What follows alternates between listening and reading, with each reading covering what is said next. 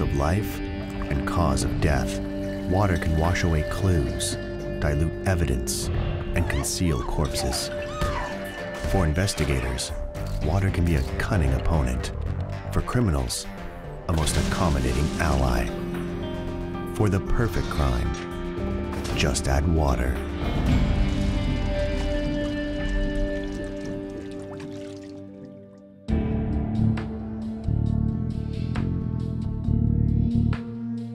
Morning of Saturday, October 14, 1995, 70 kilometers east of Vancouver, British Columbia, the peaceful town of Abbotsford is plunged into a nightmare when a fisherman discovers a young woman's mutilated, naked body in the Vedder River. The long hunt begins for the murderer, a man who will terrorize the community for months. He will profoundly affect the people of this town and will capture the attention of the national press, who will dub him the Abbotsford Killer.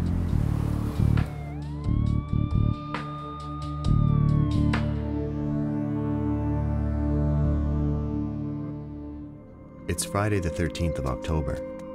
Misty Cockerill and her friend Tanya Smith are on their way home from a party. But instead, the two 16 year olds decide to continue their evening and go to another party nearby. On the way, their lives will be changed forever.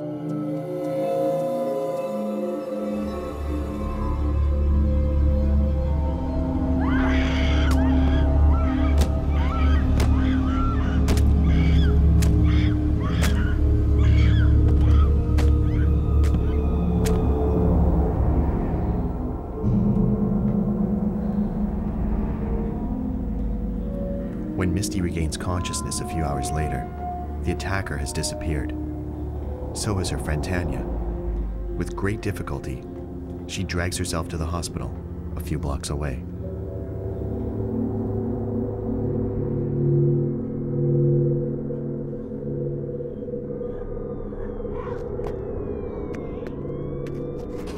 Rod Gale is the lead investigator for the Abbotsford Police. Duty sergeant gave me a call and told me that there had been a young girl come into the MSA hospital and she was badly beaten and she was telling the nurses there that her friend was still missing. At that point, uh, we called out a couple of teams of detectives and our investigation began. Misty's skull is fractured and she needs immediate surgery. She struggles to talk to the detectives as she drifts in and out of consciousness. Tanya was out by the school, is what she was telling us. So we had a group of officers over searching in the area of the school to see if we could find Tanya. There is no trace of Tanya. Did she manage to escape? Or did the assailant take her with him? Police fear the worst. At 8 a.m., a man is salmon fishing in the Vedder River, about 15 kilometers outside of Abbotsford. Suddenly, something floating nearby in the shallow waters attracts his attention. As he gets closer, he discovers the naked, lifeless body of a young woman.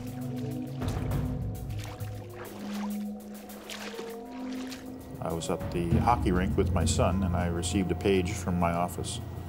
And I uh, subsequently called back to my office and got some details. And, and then I spoke to uh, the Abbotsford police about an incident they had as well. The Abbotsford police send a picture of Tanya Smith to Inspector McLeod, who is the lead investigator for the RCMP.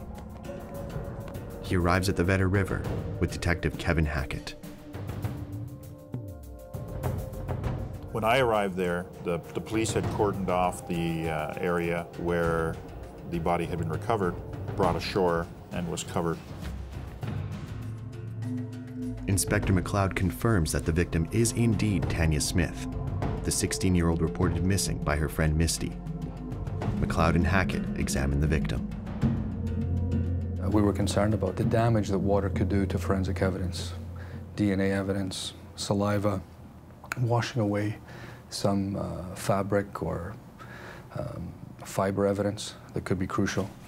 So an important process is to ensure that the hands are, are bagged with paper bags because in a struggle, they may defend themselves and strike back at an attacker. And if they scratch the attacker, they'll get DNA under their fingernails. The body is placed in a um, body bag that protects it from the outside environment in an effort to stop any contamination from outside sources. And then it's transported to the, the morgue where it's uh, locked in a uh, crypt. Detective McLeod searches the area for evidence and makes an interesting discovery.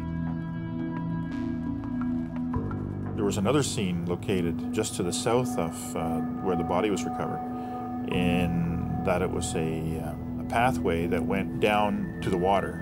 And at the entrance to that path, what turned out to be Tanya's clothes had been thrown up in the bushes. And there were some indications on the ground that uh, that's where uh, her body had been placed in the water. The investigators are intrigued by the fact that the murderer has chosen to display the victim's clothing. I think it was clear that he wanted her body to be discovered, so that may be part of that. His criminal mindset was to deposit the body when he knew that he would not be detected with it, but it would be found uh, the following day when the river would be filled with fishermen. There were some tire impressions found, and there were some drag marks, what appeared to be drag marks on the ground. Still in hospital, Misty is fighting for her life. But the police are anxious for her recollection of the attack. She's seen her assailant, and she knows where the attack took place. We sent a detective there with a tape recorder, and the instruction was tape record everything she said. Uh, she had been coherent enough to share information. She deteriorated later on to the point where she was giving information that was incoherent. She had uh, what the doctors described to us as, as at least three home run type swings to the head. Her hand was broken, her arm was injured badly, her skull was uh, badly enough indented into her brain that she had uh, bleeding to her brain. With such severe injuries, the detectives realize that Misty's memory may be vague and unreliable. But she is their only lead.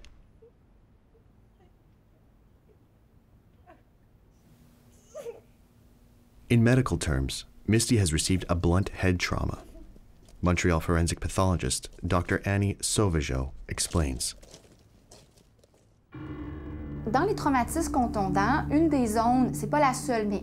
Blunt trauma to the head will often erode the scalp, but also cause cuts because the weapon hits the scalp and the bone is underneath. The scalp is caught between two hard objects, the weapon and the skull. So the scalp will open, it will tear. That's what we call a laceration. If the weapon strikes hard enough, the skull will also break and you'll have a skull fracture. Whether the skull breaks or not, the brain may be damaged and blood may pool around the brain. This blood will cover the brain and it may cause a chemical irritation, making the brain swell. So if we have a brain that is swelling but no holes in the skull, the brain will try to find a way to eliminate the excess pressure. That excess will come out through holes in the base called the foramen magnum, where the marrow is generally located. So bits of brain go there, but there is still not enough room for the swelling brain and it compresses important centers that control the respiration, the pulse, and the blood vessels. And this can lead to death.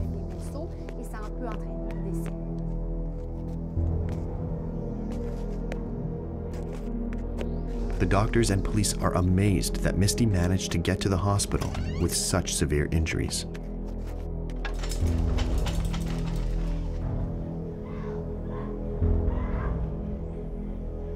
The remarkable thing about it was that uh, the attack happened at about uh, midnight, 12:30, and she never came into the hospital until about 4:30 in the morning. She'd been lying outside on the ground, and she managed to find her way around to the front to the emergency ward and stumbled through the doors.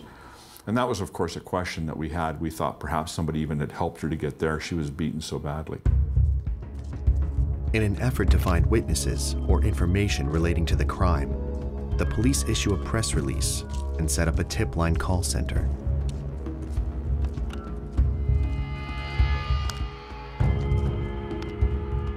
In the meantime, investigators try to piece together statements made by Misty to help them locate the crime scene.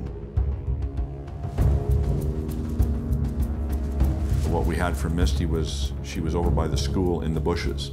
So that's a fairly large area which included behind the hospital. And we had detective teams going through the bushes area, uh, behind the hospital, behind the school, and all down that particular street. After three days, there's still no trace of the attack site. Given her critical condition, could Misty have inadvertently misled them?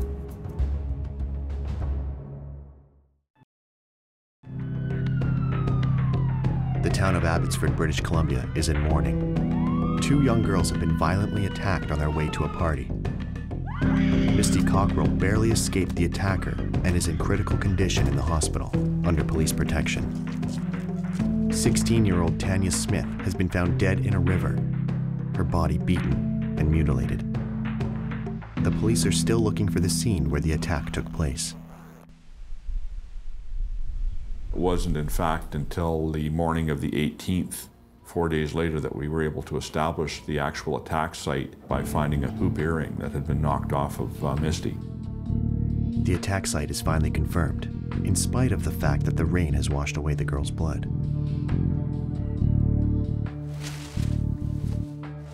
Was late at night, but there are residents in that area. Uh, there were people that heard screams, and at least two witnesses that heard a, a female voice saying no, no, no. Nobody phoned the police, however, but uh, that's not unusual either. So it's a high risk attack and high risk area. Sometimes that's part of the thrill of it for these guys. That same day, police receive a report of an object that may be of interest located not far from the Vedder River. A local farmer that knew we were looking for evidence out in that area phoned in and said, I've, I can see a baseball bat floating in the ditch. Don't think it was there yesterday. Misty had told the police that her assailant beat her with a baseball bat. Could this be the weapon used during the attack on Misty and Tanya? The police have the bat examined by RCMP Forensics. That same day, Inspector McLeod answers a call on the tip line. The first time he called, uh, I was in the um, in the command room and uh, picked up the, the tip line. At the other end of the line, a man claims to be the person who found Misty and helped her get to the hospital. Inspector McLeod tries to obtain more information, but the man hangs up without identifying himself. The stranger was using a public payphone, and the police were unable to trace the call.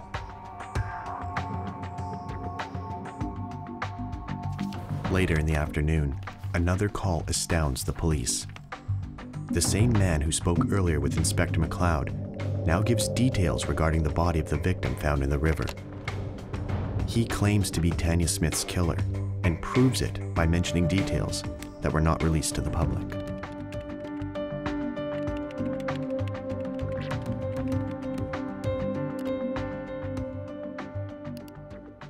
It's not likely that it could have been done by anyone else other than the perpetrator. The information, the main piece of holdback information that we had was the location of the bite on, on Tanya's body. And the caller, when he called us, always referred to that uh, area of the bite as his calling card, so to speak. This time, the call is traced back to a payphone at the Abbotsford Arena. Police and the Forensic Identification Unit are immediately dispatched. We were getting the information within uh, minutes. For uh, the timing of the phone call being made and the time it took to drive to the exit, uh, we feel that the first police responders must have met him as he was driving out. The response was that quick. Unfortunately, didn't uh, identify him. Telephone receivers generally are quite greasy and dirty, and, and you may get uh, prints on top of prints. Hard to determine if it's one individual or, or not. Um, it's a public area, and you're, you're not going to get uh, good results. But to actually find something that's usable is um, pretty slim. Early that evening, the tips line receives another call from the killer. This time, he mocks the police and laughs at their inability to catch him. One of his phone calls to us, he said, Do you think I'd be stupid enough to leave fingerprints behind when I made a phone call? And that led us to believe that he was watching us dust the payphone uh, where the 911 call was made. The same evening, the killer calls a fourth time. He continues to taunt the investigators and admits he's looking for new victims. He wants to kill again. To help apprehend the killer, a telecommunications company develops a new technology to assist the investigation. They were able to uh, put in a uh, remote answering system that would show us uh, when a 911 call was coming into our dispatch center from a payphone. And before the dispatcher answered that call, she'd be able, he or she would be able to tell where that phone call was coming from, which payphone it was coming from, and dispatch a car to be attending there, and then answer the answer the 911 call, and uh, talk to the person. And during the time that they were talking to the person, uh, there would be a police car en route to this 911 call. We saturated the streets of Abbotsford with as many investigative teams as we possibly could in anticipation he was going to call. Um, in those areas that he had called in the past, so that if there was a call, we could respond quickly, and we did. Patrol cars arrive on the site shortly after the call, but the killer escapes once again. The police make another statement to the media, warning the city of Abbotsford that this violent predator is on the loose. They request that women in particular be very careful. The community is gripped by fear. The tip line receives thousands of calls from people wanting to help catch the murderer. The investigators received the results from the analysis of the baseball bat. No DNA evidence was found. The bat cannot be linked to the crime. Misty is still in critical condition, but she is the only one who has seen the murderer. The police send a forensic artist to visit her to create a composite drawing. In her brief moments of consciousness, she describes her assailant. On October 20th, six days after the attack, the face of the Abbotsford killer appears in all the newspapers. We had, of course, um, released a composite that Misty had assisted in preparing. We had debated about the, uh, the value of that, given her injuries, but we decided to release that. That generated a lot of uh, tips from the public. The police follow up on all the tips they receive from the public. It's a long, laborious process. The cause of Tanya's death can only be confirmed with an autopsy. Will the evidence found on her body offer the investigators a solid lead? Detective Kevin Hackett is present at the autopsy. She had very significant uh, skull fracture. She had trauma to her face. It looked like she'd been uh, beaten around the face. And uh, in her abdomen area, uh, an almost visible footprint it, with some of the soil that was left. And there was the significant um, injury, the bite mark uh, to her uh, breast. Tanya's body was in the river for many hours. It's quite possible that the water has washed away precious evidence. Could the analysis of the bite mark help identify the murderer? Will it give police the evidence they need to arrest the Abbotsford killer?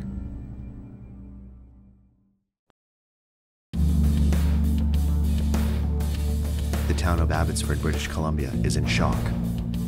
Two teenage girls have been violently attacked. One is dead, and the other is struggling to stay alive. A man who identifies himself as the murderer has been calling and taunting the police. He has threatened to kill again, spreading terror through the city. Investigators work around the clock searching for leads. The results of Tanya Smith's autopsy may give them the evidence they need to stop the murderer before he claims another victim. Uh, although Dr. Carlisle believed that the head injuries, brain injuries were so significant that she likely would have died from them, but the official cause was drowning because she was submerged in the water and still inhaling uh, water into her lungs. The pathologist also finds that the victim has been raped. Samples are sent for DNA profiling. To examine the bite mark on the victim's breast, the police call on Dr. Sweet, forensic odontologist with an international reputation.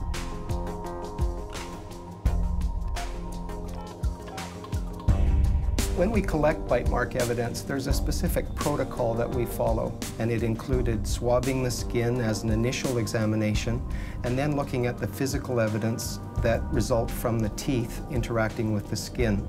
We had to photograph the bite mark extensively in order to record those patterns and shapes in reference to a scale or a ruler that's placed uh, near the bite mark. And in addition to that, we take a cast or we make a mold of the skin so that we can record any um, undulations or differences in the surface from normal. Dr. Sweet uses a new technique to collect DNA from the bite mark. The saliva that is deposited during biting, I thought would be a very good source of DNA evidence. And so I had developed a method of collecting that saliva using two swabs, one wet and one dry. Because the victim had been in the water for several hours, there was really no way of knowing what we were going to be able to achieve. It was assumed that the water would have washed away all of the evidence.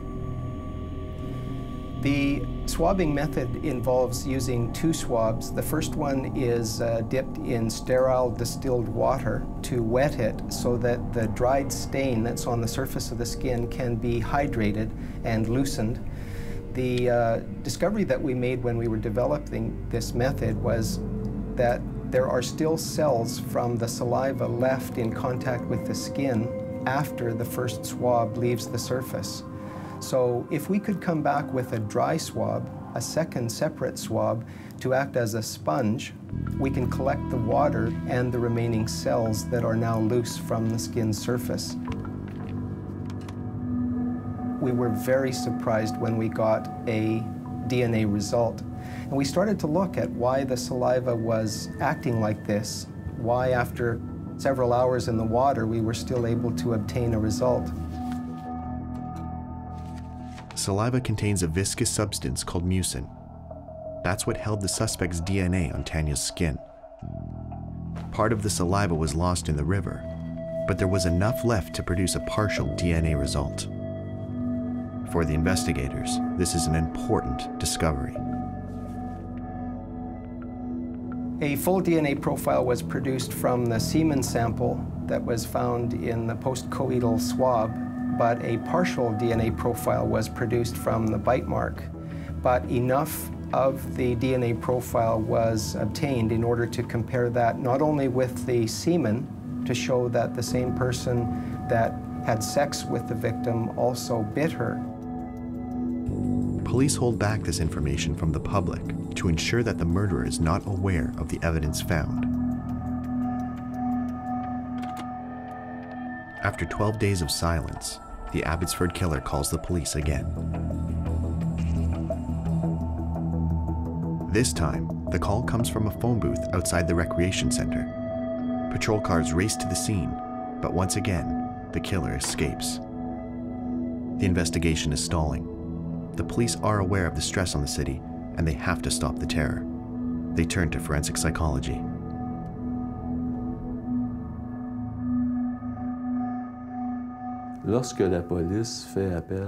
When the police call on forensic psychologists, it's usually because there's something strange in the behavior of the individual that they can't understand. Uh, it's, it's something out of the ordinary. In these cases, they'll ask a psychologist to do a, a psychological profile of that individual. There's a danger, though, uh, that you have to be mindful of as an investigator or as a, as a team commander. And the danger is tunnel vision and focusing uh, too much on that profile.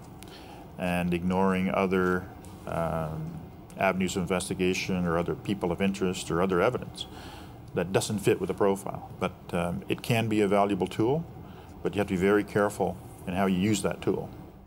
Dr. Mike Webster is brought in to prepare a psychological profile of the murderer. This was a spontaneous act. This was a retaliatory type of crime that he committed here. Any sexual overtones were secondary. They were simply another way to brutalize and dehumanize these girls. This was an act of, of savage retaliation. Tanya and Misty presented an opportunity for him. He physically intimidated them and he psychologically intimidated them part of his motive was to blow off some of this anger, this steam that he had uh, against women. And, and this is unusual because, um, I mean, usually when someone commits a crime, post-crime behavior is they want to distance themselves from their crime so that they won't be discovered. In this case, he had a desire to demonstrate to the police that he was smarter than they were that he could outwit them. And what he had done here by going to the river was, in effect, create two crime scenes, attempting to complicate matters for the police. The telephone calls that came afterwards, this was his way of involving him in, himself in the investigation. This was his way of maintaining the excitement of the crime by continuing to interact with the police and demonstrate to them that he could outwit them, that he was smarter than they were. 24 days after the attack, the police set up a call-in line where people can listen to samples of the killer's phone calls. They hope that someone will recognize his voice. I think what really started to scare the community was when he started making phone calls and taunting us, and then we started to play those on the air. I think it really scared people. And it was quiet around town. You could drive downtown at night, and there wasn't a lot of traffic. You didn't see people out walking. Uh, people were scared. Finally, on December 1st, there is a new development in the investigation. And we had a suspect that uh, had been arrested on this particular um, as, as, being identified as a person um, responsible for the attacks. And he was a look-alike, a dead ringer for the uh, composite drawing. The suspect gives a DNA sample and his dental imprint. Have the police arrested the Abbotsford killer?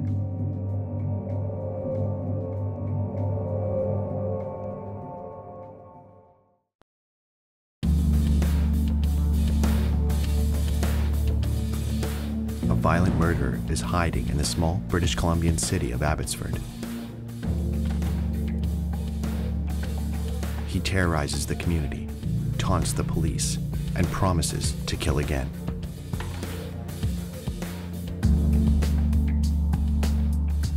Misty Cockerill, one of his young victims, clings to life in hospital. A composite drawing is published in all the newspapers.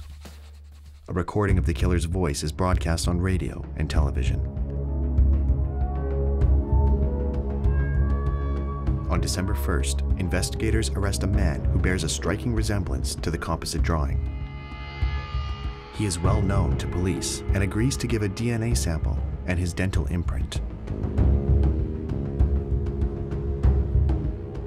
He was really, really quick to give all the DNA and bite mark. We didn't have a fingerprint at that time, but he gave DNA and a bite mark to get himself cleared. The suspect is held in custody while the DNA samples are examined. In the meantime, the police continue their investigation. I was asked to record dental impressions on five different suspects over a period of about six months. I had seen traits in the teeth that were quite characteristic and unique. So I was able to take impressions of those suspects' teeth and within a very short period of time, exclude them as being the cause of the bite mark. Over the course of the investigation, there was 9,500 tips came in, and most of those were people being identified as possible suspects. So we're getting lookalikes to the composite drawings and soundalikes to the voice, and people were very, very anxious to, to help. And uh, we were getting lots of calls. So thousands, thousands of suspects were eliminated. The DNA results are negative, and the suspect is released. He is not the Abbotsford killer.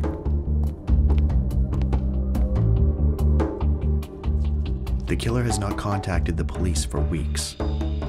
His silence weighs heavily, and his threat to kill again echoes through the streets of the city. On February 17th, the host of a radio show receives an anonymous call. The man tells him to go and look in the parking lot.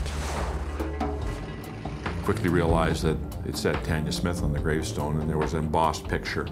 And so he called the police right away. And our officers attended and took the headstone as evidence and found that it had been um, defaced. There was threats scribbled on it to Misty. There was uh, a reference uh, on it to the bite mark. And quite amazingly, nobody saw him lift this big 180 pound headstone out of there and put it on the hood of the car. So it was, uh, it was like we were chasing a, a ghost, eh? This guy's invisible. Le genre de, de personnes qui procèdent comme ça, donc qui veulent. The kind of person who proceeds like that, who deliberately puts out clues, makes sure the victim will be recovered quickly and identified. Dans le fond, Their main purpose is really to get some attention, improve their self image, which Essayer de rehausser may be very ordinary, in fact. que ça, qui est peut-être bien ordinaire dans les faits. Two days later, the killer calls the police and asks them if they liked his gift. The provoking call is made from a payphone booth, only two streets from the police station. He disappears yet again without leaving a trace. Witnesses give police descriptions of a man they had seen, but the leads do not produce a suspect.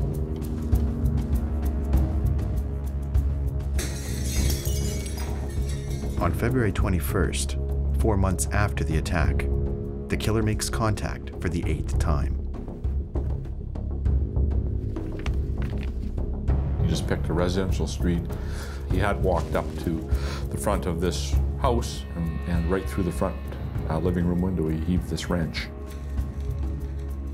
Corporal Mike Colson. He is a forensic identification technician uh, for the Abbotsford Police, and uh, he spent a long time very, very carefully taking this package apart.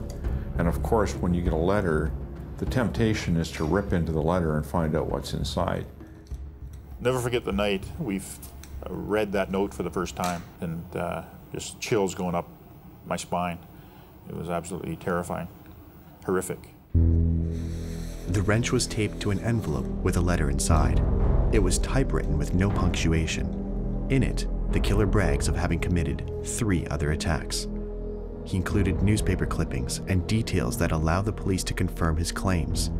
There is no doubt that Tanya and Misty are not his first victims. He talked about other conquests, uh, and in the end, he said, You won't catch me. Uh, I'm not going to move out of town, and I will strike again. And goodbye for now, guys. And it was written sort of almost in a friendly format, so it was really a strange letter. The forensic expert examines every square millimeter of this package, handling it with extreme care. He finds no prints on the clippings, no prints on the letter, no prints on the envelope. However, on closer examination, the piece of tape holds an obscured clue. And if you think about tearing a piece of tape off a roll, you're using your thumb and your index finger. And um, again, looking at the process, normally you would tear a piece of tape with your index finger on the sticky side. And uh, that's what we keyed in on. They use a new technique designed for difficult media, like adhesive tape. He used a powder called sticky side powder, which is basically a, a powder that you mix with a solution that suspends the powder and then you wash it over the, the tape and it'll stick to the, to the glued side of the, of the tape where the finger had touched. Will the police find the fingerprint of the Abbotsford killer? Has he finally made the fatal mistake that everyone has been waiting for?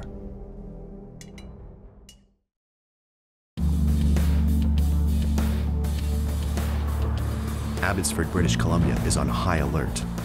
For the last five months, a murderer has been terrorizing the city and provoking the police.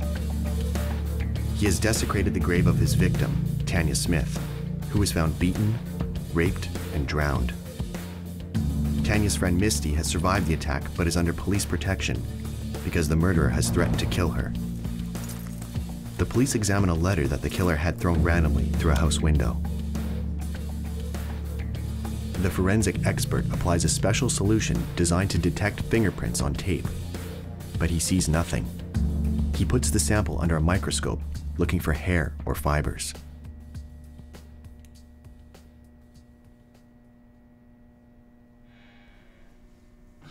That's when he found the fingerprint. It was so faint. So then he photographed it and went in the dark room and just kept on darkening and darkening and darkening until it, uh, until it came up. The police now have an extremely valuable piece of evidence an index fingerprint of the Abbotsford killer. The discovery is held back from the media so as to not alert the murderer.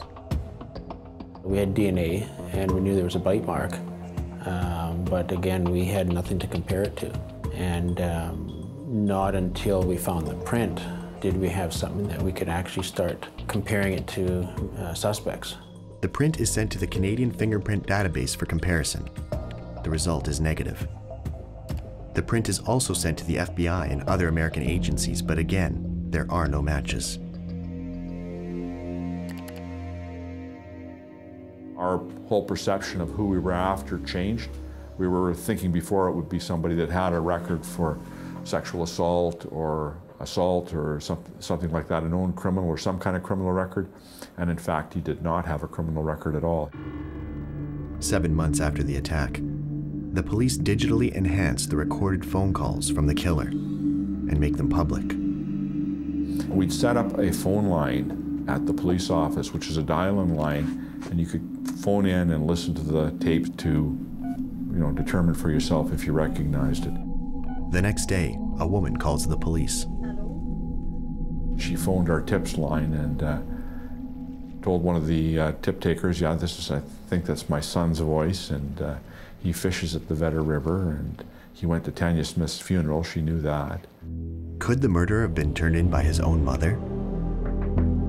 We attended at his uh, residence in Abbotsford and uh, treated him like we treated every other person of interest that had been surfaced through the investigation. And I offered him the chance to come in to talk voluntarily and provide his fingerprints and uh, provide a DNA sample, and um, he declined to do that. The investigators are suspicious of his response. We had very few people that did not cooperate. Anyone that was approached by the police as a suspect or a person of interest uh, were very quick to uh, cooperate to eliminate themselves because it was such a horrific crime against a child that uh, no one wanted anything to do with that. And we had some pretty hard-nosed criminals uh, cooperate with us. The police cannot force a citizen to provide a sample for DNA analysis without a warrant signed by a judge. McLeod continues to investigate the suspect. The man's name is Terry Driver. He is married with two young children. He works in a printing house and has no criminal record, and his father is a retired police officer.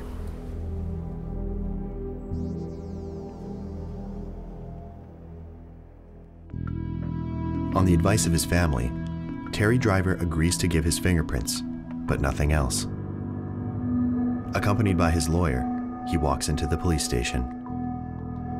I rolled his prints, but we'd been looking at that print so many times. Uh, we had that ingrained in our mind. We knew what we were looking for. Under normal circumstances, I would have taken the print and gone back into my office, but This was a little bit of a unique situation. He had his lawyer there. There was, uh, they wanted it done right there at that, at that spot. So I went into a small office that's normally occupied by the guard and uh, closed the door. But there's windows all around, so you felt like you're in a, a bit of a fishbowl situation. And um, they wanted me to make the comparison at that time. There was a, a center portion of it that had a funny um, bit of a loop on it, and, and we kind of had a nickname. We dubbed it the hockey stick and that was kind of an area that we keyed in on um, right off the bat to look to see if that formation was there. And when I uh, compared the prints, put the fingerprint glass on it, and started looking at some of the areas that we had keyed in uh, I could feel my heart rate was accelerated. And then, of course, when I looked at the print right off the bat, uh, it, it, didn't take me very long, and uh, I knew that it was his print. Jerry Ennis checks the print again he is confident that it is identical to the one found on the tape attached to the note signed by the killer.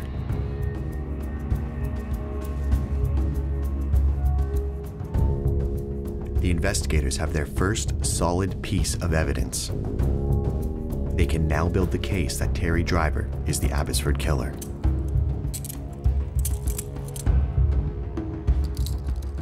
Everything from uh, tears in the eye to high fives and hooting and hollering it was, uh, it was very, very big relief off of everybody's shoulders. And you could tell uh, weight of the world lifted off all of our shoulders because the bad guy was now at least in custody. The threat was over. When there's an arrest made, uh, as far as the police are concerned, that's really when the work starts because now the clock is ticking to get ready for trial. The police continued to collect evidence against him uh, afterwards. For example, the, the cell phone tracking evidence, uh, the bite mark comparison evidence was only available when police were able to get his dental impressions. The uh, DNA from him was only available once uh, police knew that it was his DNA they needed to obtain. It is now up to Crown Prosecutor Neil McKenzie to prove that Terry Driver is guilty. The trial charges him in connection with both victims. Attempted murder in the case of Misty Cockerill, and first degree murder in the case of Tanya Smith. Before the court, Terry Driver makes 20 admissions. Most surprisingly, he admits to the rape and manslaughter of Tanya Smith. Mr. Driver's position was that he was, he was guilty of a sexual assault and guilty of a manslaughter because he had uh, put Tanya Smith's body in the river and she had drowned as a result. And so the manslaughter would be as a result of his unlawful act of, of putting her body in the river. Uh, he claimed at that time that he believed uh, that she was already dead and only realized later that, uh, that she had drowned when he heard news reports. So then he realized that he was responsible for the death, and that was why he, uh, according to him, was guilty of manslaughter but not of murder. I think what he said on the stand was that he had sex with Tanya. That's consistent with the evidence. But then there's no direct evidence that says that he was the person that threw her in the river and in fact killed her because she drowned. What went against that, of course, was the fact that he'd written a letter talking about a baseball bat and uh, he had um, talked about being the one that took Misty around to the front of the hospital and dropping her off. And in fact, he hadn't, he hadn't done that. Justice Oppal came up with a number of reasons that he found his story not credible. And uh, he convicted him. It is almost exactly two years after the attack on the teenage victims. Terry Driver is convicted of first degree murder in the case of Tanya Smith and attempted murder in the case of Misty Cockerill. He receives a life sentence with the possibility of parole after 25 years, which is the minimum for first degree murder. At a separate trial, Terry Driver is also found guilty of the three attacks that he confessed to in the note thrown through the window. Basically uh, members of the team put their lives on hold for seven months and went after this case uh, to investigate it and identify the killer. Um, these guys lived in the community. We all lived in the community. We all knew the threat, and the threat was to our families as well. And uh, it was one of those cases that If it comes along once in your career, that would be too much. Terry Driver used water to become the Abbotsford killer and forever left a scar on the community. But for Tanya and Misty, justice has been served.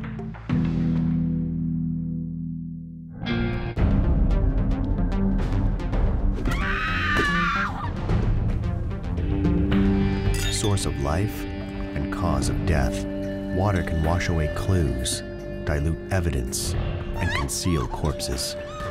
For investigators, water can be a cunning opponent. For criminals, a most accommodating ally. For the perfect crime, just add water.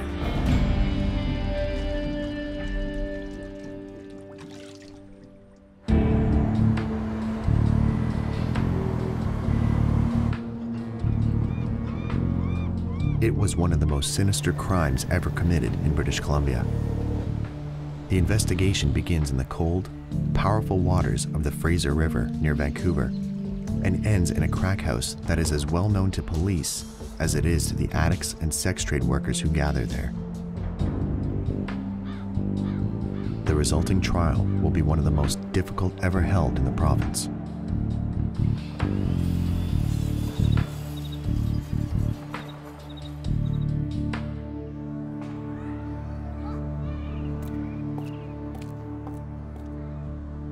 In 2001, RCMP Detective Peter Cross is the lead investigator assigned to a particularly mysterious case, what is commonly referred to as a John Doe homicide. We had some information that somebody had been killed inside a house in the north part of Surrey. On May 12, 2001, an individual came forward to the police. And he, he, wasn't an informant, he was a witness. And he, he spoke of having viewed not a person being killed, but the aftermath of such. We were investigating that even though we had no idea who the victim was. There was pretty good information. The house where John Doe was reported to have died is located in Whalley, a low-income neighborhood in Surrey. It's a rundown area and has a high level of crime and violence because of the number of drug addicts who continue to feed their habit.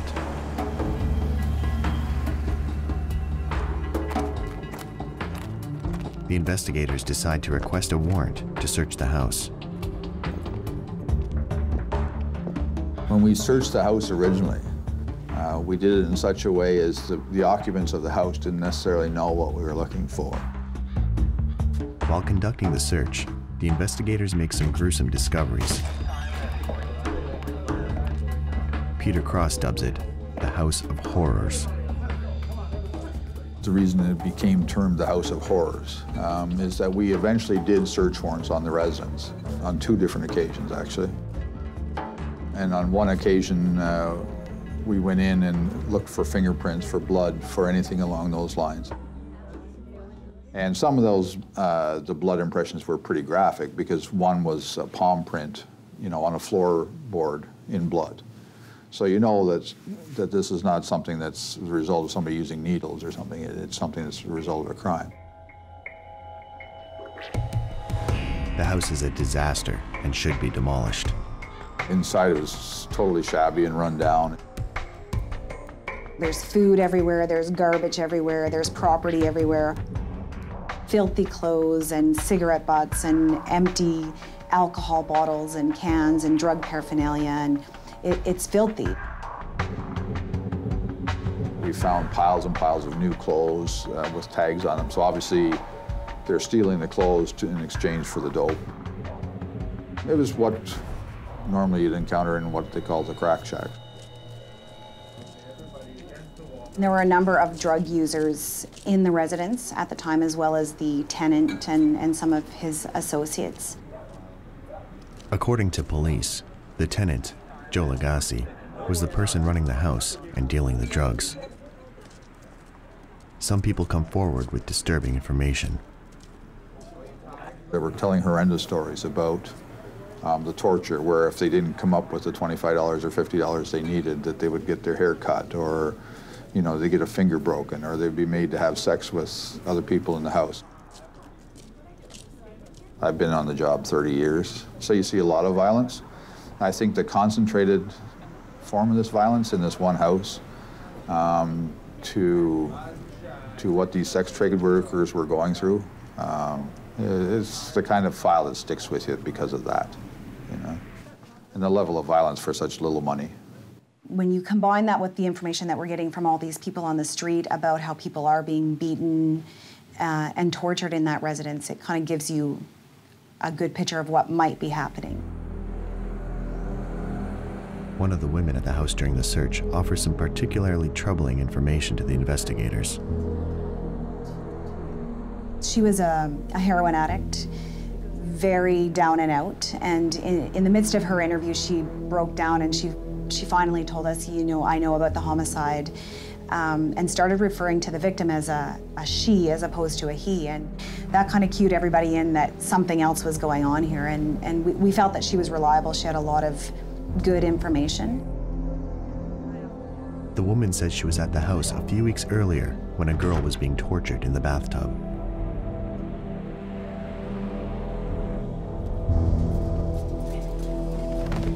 She actually walked in to use the bathroom when this was going on.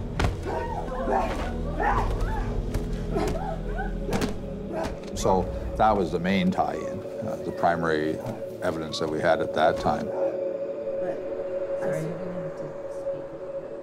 Because of her confession, a number of other drug addicts overcome their fear and come forward with their own information about the incident.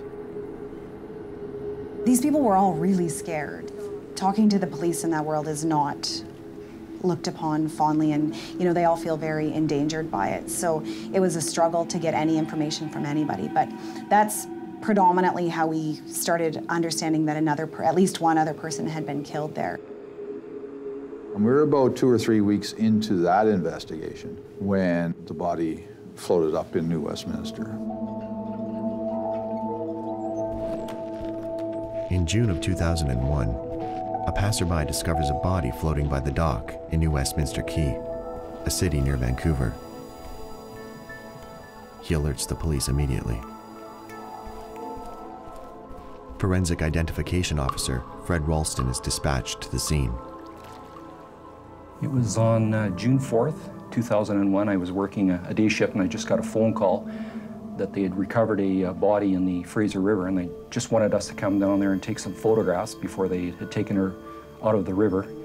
There were a number of uh, police officers there at the scene and uh, I noted that there was a body in the, in, the, uh, in the river and it was face down but it was fairly obvious just from the general outline of the, of the person that it appeared to be female facial features and all those kinds of things are, are, definitely blurred. Of course, water being the most difficult body to find as far as a forensic, because water destroys and animal life destroys what you have fairly quickly. The current is very strong. The rescuers must work quickly so that the body is not carried away by the river. Our first concern was to try to get her out of the water without disturbing the body and more importantly, not letting her go and head down the Fraser River again. So after some discussion, uh, we decided that the uh, dive team from the RCMP would, would come there and retrieve the body. The New Westminster Police Department doesn't have its own dive team. The RCMP divers must be brought in.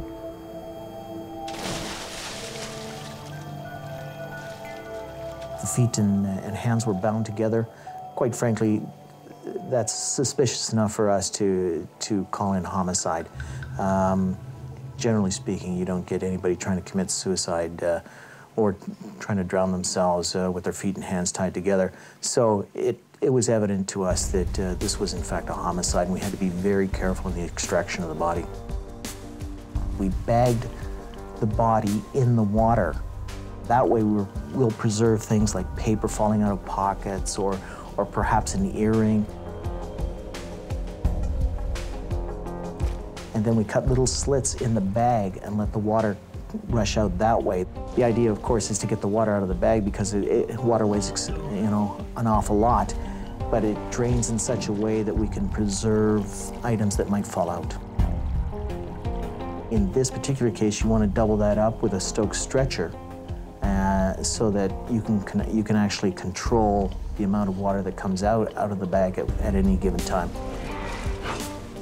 Once the body's up on dry land, it's almost immediately turned over to the homicide investigators.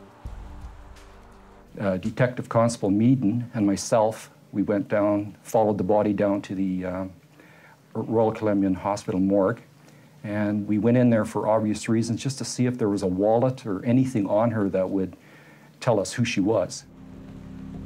Many questions remain unanswered. How did the victim end up in the Fraser River? How long has the body been in the water?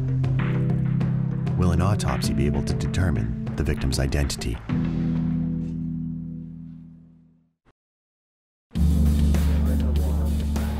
The RCMP are investigating the murder of a man in a crack house known as the House of Horrors. They learn a woman has been beaten in the bathroom of the same house. At the same time, a body is discovered floating in the waters of the Fraser River near Vancouver, British Columbia. The body is transported to the morgue at the Royal Columbian Hospital in New Westminster.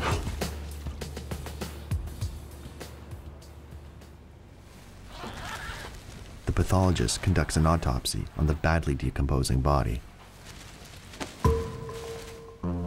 Une autopsie euh, médico-légale. A forensic euh, autopsy involves a number of steps.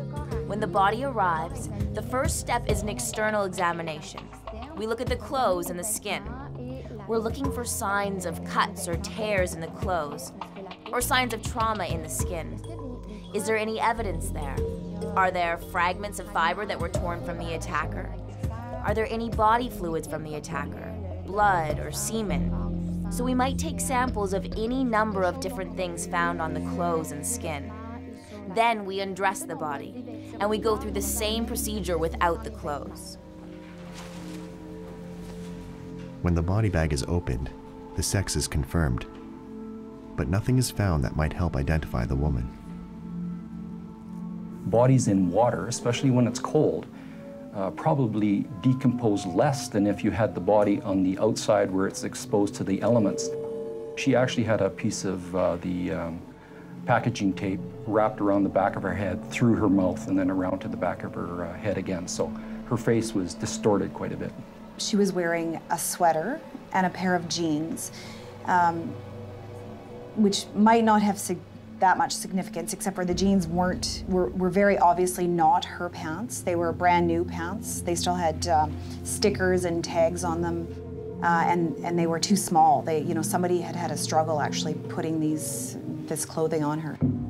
Seven stab wounds were found on the woman's arms, back, and thighs.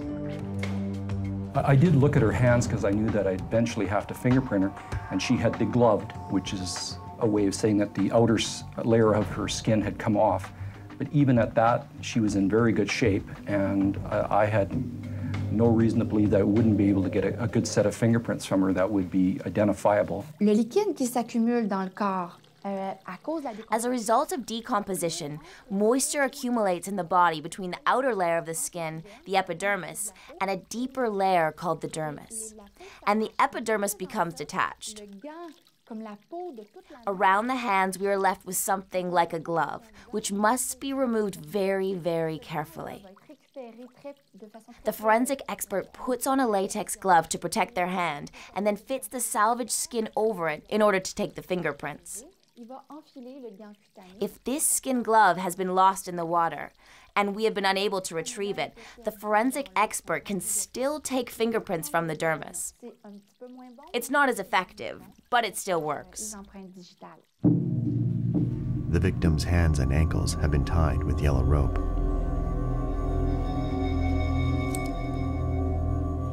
They might be some unusual knot that a person might link to some particular job or hobby.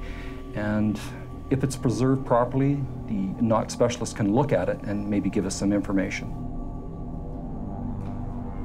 The rope bindings we took some interest in and, spent some a little time on that. We sent those off actually to a, a rope expert um, to determine knots and how they were tied, and we try to use that as a tie-in later on in the investigation. Once the victim's hands are untied, the forensic technician can start taking fingerprints.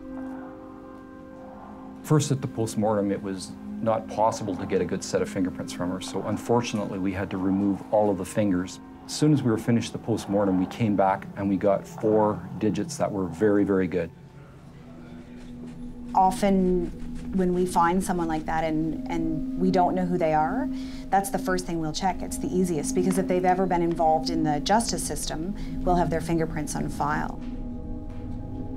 The only other reason we do it is for other people who pass away and we already know their identity. Uh, if they do have a criminal record, we'll take their fingerprints simply to send them into to Ottawa so they can be removed from the national data bank. Fred Rolston sends the prints from the four digits to the Vancouver database for verification. No matches are found. So the prints are sent on to be checked against the national database in Ottawa.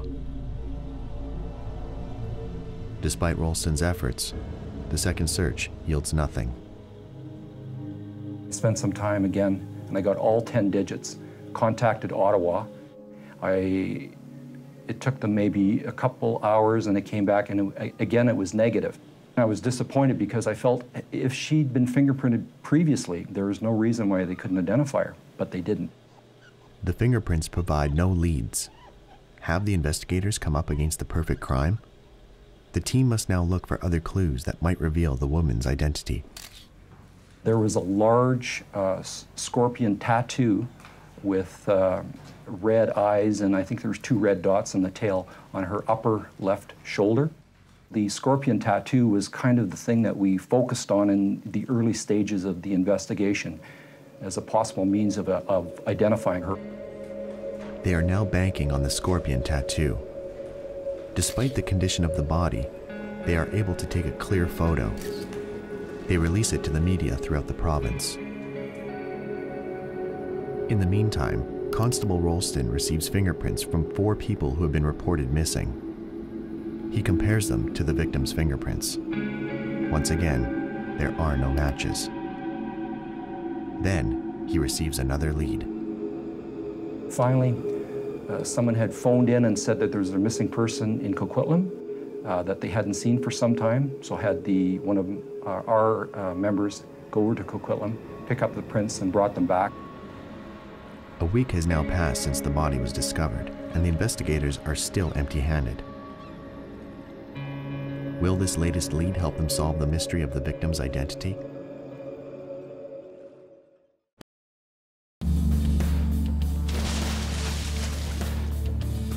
A woman's body is found in the Fraser River near a dock in New Westminster, British Columbia. It's badly decomposed. The investigators have just received the fingerprints of a missing woman from the neighboring city of Coquitlam.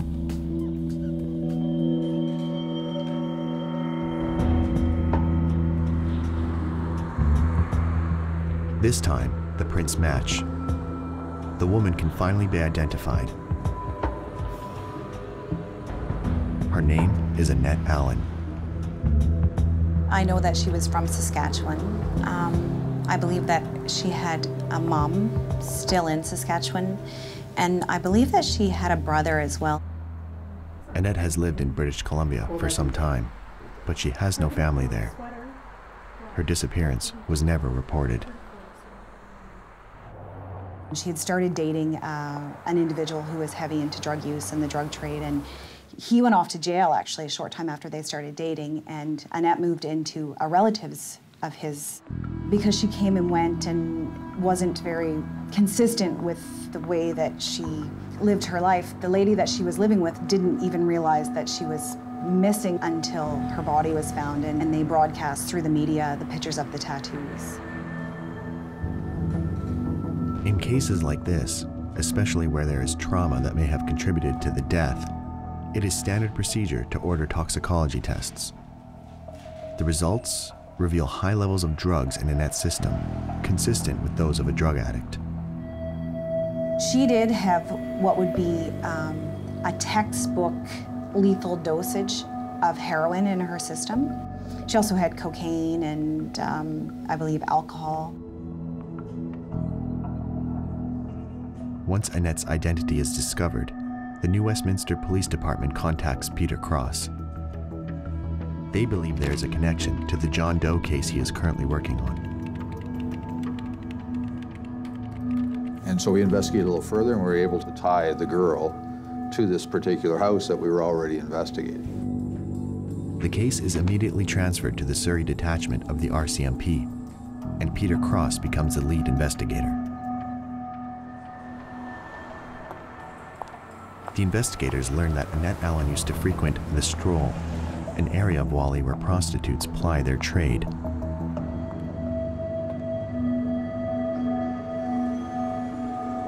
They also discover that she was with a woman named Joanna Larson on April 22nd, the day she was last seen alive. Joanna Larson had brought her to that house. Um, and the information at that time was that Joanna Larson uh, had, a, had a beef with Annette Allen. And there's where sort of the real crux of the investigation started. What happened in that house? it was linked quite quickly that, that she had passed away in that house or, or that it had started there. The investigators still do not have enough evidence to make an arrest. So a second, more thorough search of the house is ordered. We took the drain pipes out of the house. Uh, we did everything. I would say we spent in total probably two and a half, three days examining that house.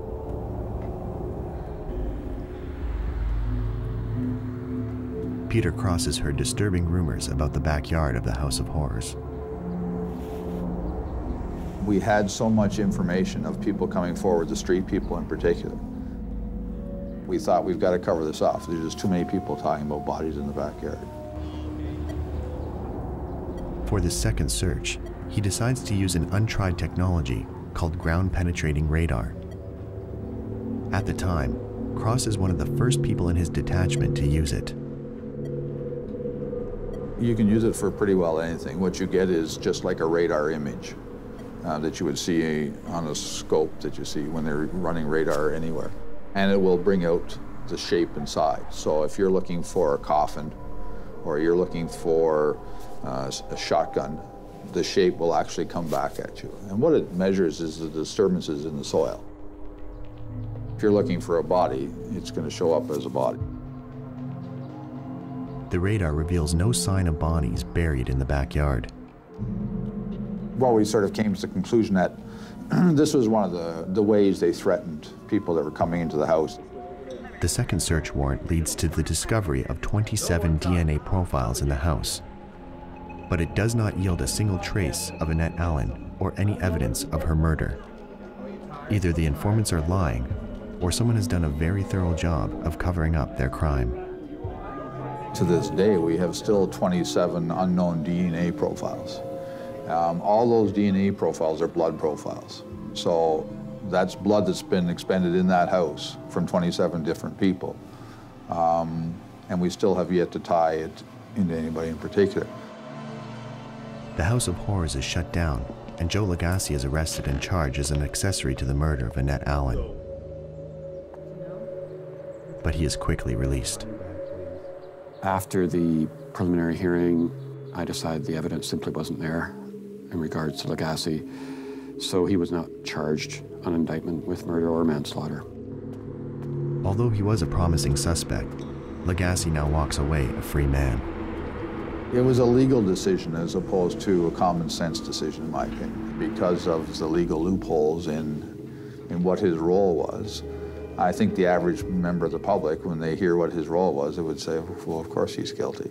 Um, the problem is the legal system doesn't necessarily match up to what the average Joe thinks. The only leads the investigators have left are eyewitness accounts that point to two possible suspects Joanna Larson and Francis Gauthier. Joanna Larson and Francis Gauthier would be considered friends. Francis was kind of the doorman of that house, um, worked and lived there, and, and Jojo went there all the time. We had information which made us believe that the two of them had actually discussed committing a homicide and that, um, you know, they kind of jibed at each other at points saying, oh, you couldn't kill anybody or you couldn't do it. The witnesses are drug addicts, and this does not help matters. Peter Cross is not sure their accounts are reliable. The nature of their drug illness makes them extremely difficult to deal with and extremely difficult to corroborate their information and, and count on. Cross decides to forge ahead with what little information he has. The investigative avenue we thought would work and would be our best avenue was the undercover route. The first undercover operation targets Joanna Larson. It's not long before she's providing information about her role in the death of Annette Allen. She was definitely, in my opinion, a braggart. Like she was quite pleased to to talk about it. It turns out that Larson had previously taken part in a robbery and was convinced that Allen had been an informant. We could confirm later on, obviously, that she wasn't in that case, but that was their belief, was that she was uh, ratting them out. There was also a $20 drug debt in there too, that Annette owed someone $20 and that this was a, a bit of a point of contention with, with Joanna as well.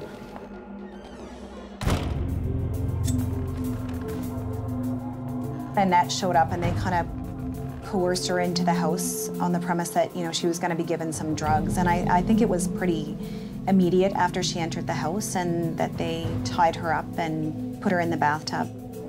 Annette Allen is assaulted, stabbed, and beaten with a hammer.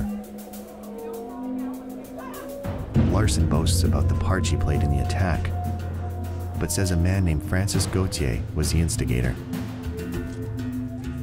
Basically, Joanna Larson confessed to being there and what happened, but put the majority of the blame on Mr. Gauthier. But Larson's accusation against Gauthier would not be admissible in a court of law. In order for it to be used as evidence, a confession from Gauthier himself would be required. They knew certainly, for sure, they knew Gauthier was involved. It's one thing to know someone's involved, it's another thing to have evidence that you can use against that person. So that's why the second undercover operation was used. Joanna Larson is arrested and charged with the murder of Annette Allen.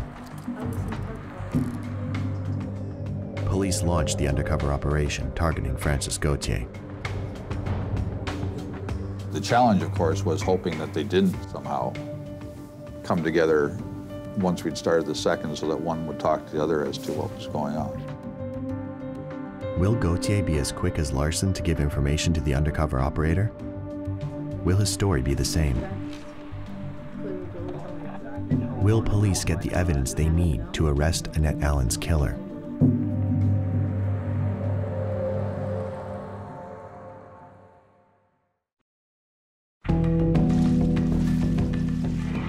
The body of Annette Allen has been retrieved from the Fraser River.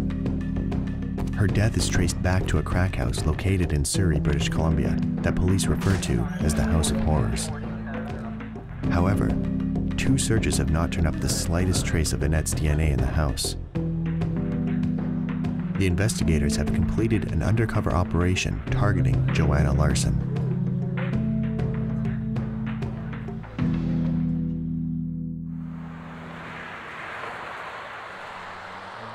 Armed with the allegations Larson has made about Francis Gauthier, the police launch a second undercover operation.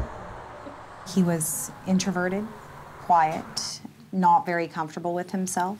Obviously, he has some violent tendencies to do what he did, um, but you don't get that same sort of killer impression from Francis Gauthier that you get from Joanna Larson. I think it was a little, a little bit more difficult for him to talk about it, but in the end, he seemed quite pleased with himself as well.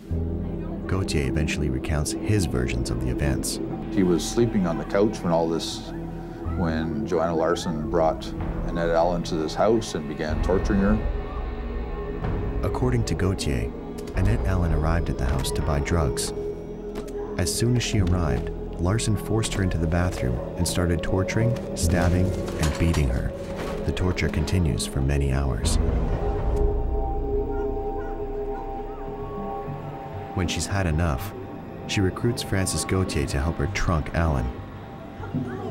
What was referred to on the street as being trunked, and um, that term referred to being beaten, having your head shaven, and being thrown in a trunk and driven driven around as, you know, a form of punishment or a way of convincing you that you need to pay your bills.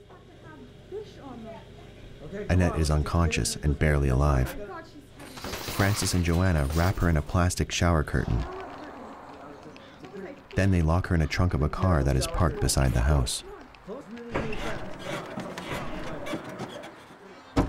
This residence also had normally multiple cars parked in the driveway, most of them without license plates or insurance. And it, it, was kind of typical to have one good set of license plates and you just switch that to whichever car you chose to drive that day. Initially, it was still daylight, so they waited for a while down in the, uh, the Surrey area, the North Surrey area. Larson and Gauthier drive around for several hours looking for a suitable place to dump Allen. They stop under the Alex Fraser Bridge. A heated argument erupts. While the two accomplices try to come to a decision, Allen manages to open the trunk.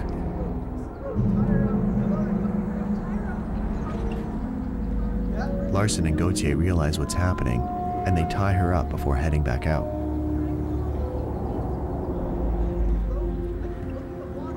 In their state of panic, they don't notice that they've been spotted.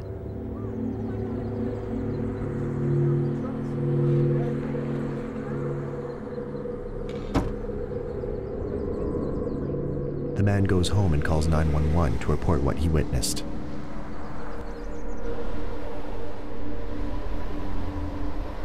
Eventually, Larson and Gauthier end up in New Westminster. Right at the New Westminster Quay. Like uh, it was about 100 yards up from where the body was found.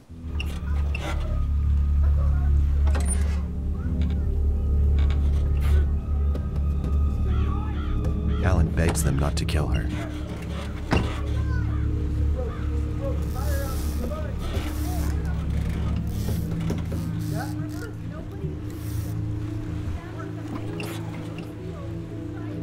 Gauthier strangles her.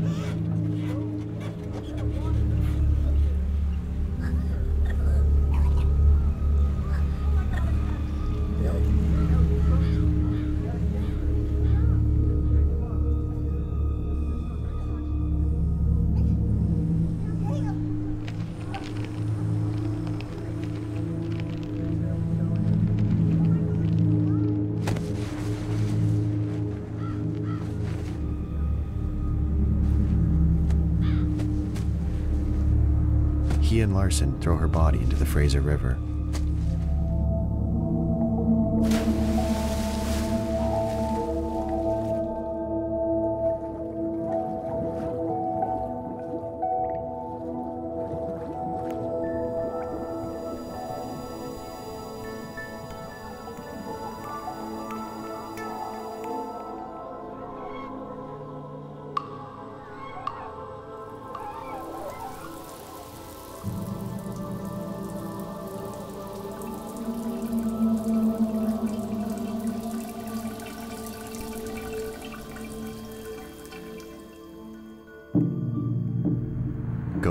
Confession to the undercover agents is the evidence the police need to lay charges against him.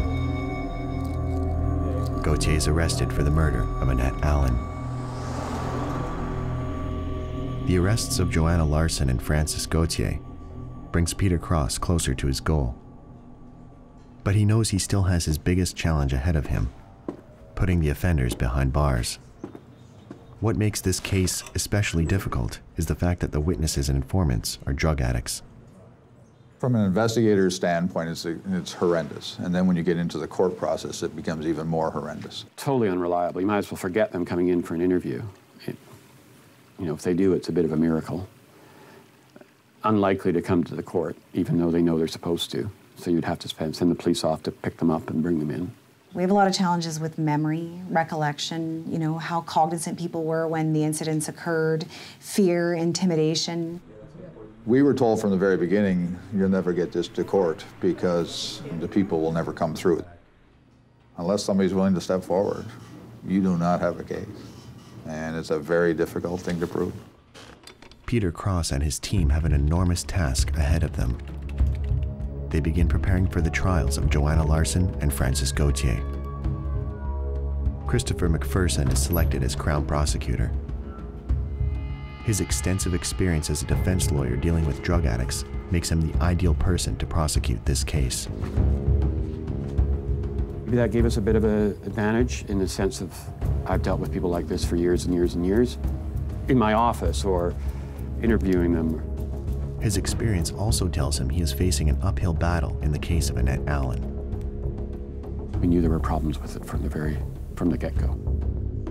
Sure, there was the, there was tape and there was rope and there was clothing, but none of that could be tied back to the house in any way. Um, it was just basic stuff you could get anywhere. There was nothing that one could say was the weapons that were used in the assault. There were knives in the house, but there was nothing that you could say was used.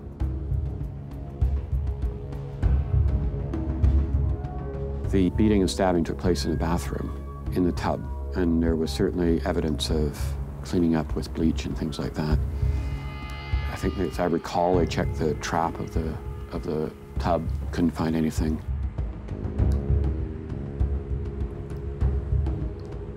There was basically no physical evidence to tie Annette Allen to the house at all. Even though Annette had been wrapped in plastic, he finds it very surprising that investigators were unable to find any forensic evidence in the car. If we have, could have put Annette Allen in that car with a forensic evidence, that would made the case a lot stronger. Without any forensic evidence whatsoever, the prosecution's success will depend on two things the undercover operations and the accounts of drug addicted witnesses, both of which present significant problems.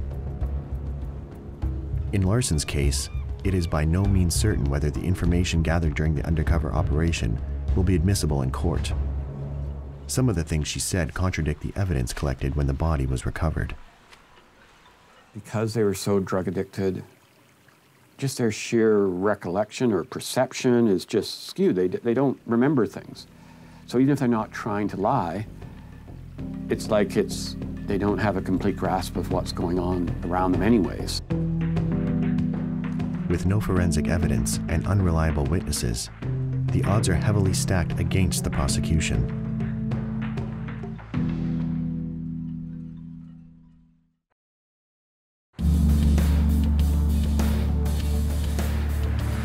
Three people have been charged in relation to the death of Annette Allen.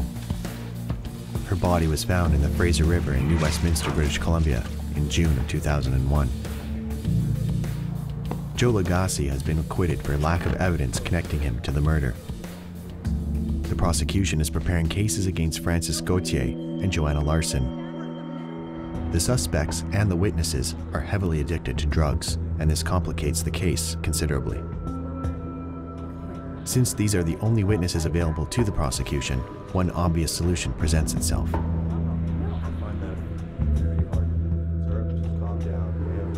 Investigators take the witnesses under their care and enroll them in a detox program so that they'll be able to participate fully in the trial. C'est au policier euh, à it's up to the cop to increase the credibility of the drug addict turned witness, and one of the best ways to do this is to convince and assist the addict in abstaining for at least the duration of the court process. And hopefully, they can provide the support services they need to remain sober. It's not an easy task, but it's certainly worth a try. They did an amazing job with uh, two or three of the witnesses and making sure they were always there for them, taking them for coffee after, and you know, keeping them on the straight and narrow, giving them a place to call if they started to feel like they were going to slip onto the other side. I've got to give the police a lot of credit, a lot of credit, because even though, you know, it's a killing in the middle of a the whole drug scene, they worked very, very hard and continued to work very hard right through the whole case, because it was one of those cases that okay, you've got enough evidence to charge a person, well, that's nice, but half your witnesses aren't going to come. But one of the witnesses that the investigators support becomes a key witness in the trial. She was a woman who came to the house to buy drugs. And had to use the washroom, and when she went in, and Annette was in the, in the bathtub. And she saw her. There is one issue that complicates the case even more determining the cause of death. One of the issues that came in court was the levels of toxicity in her body with the various drugs. One of the defense arguments was that the drugs killed her.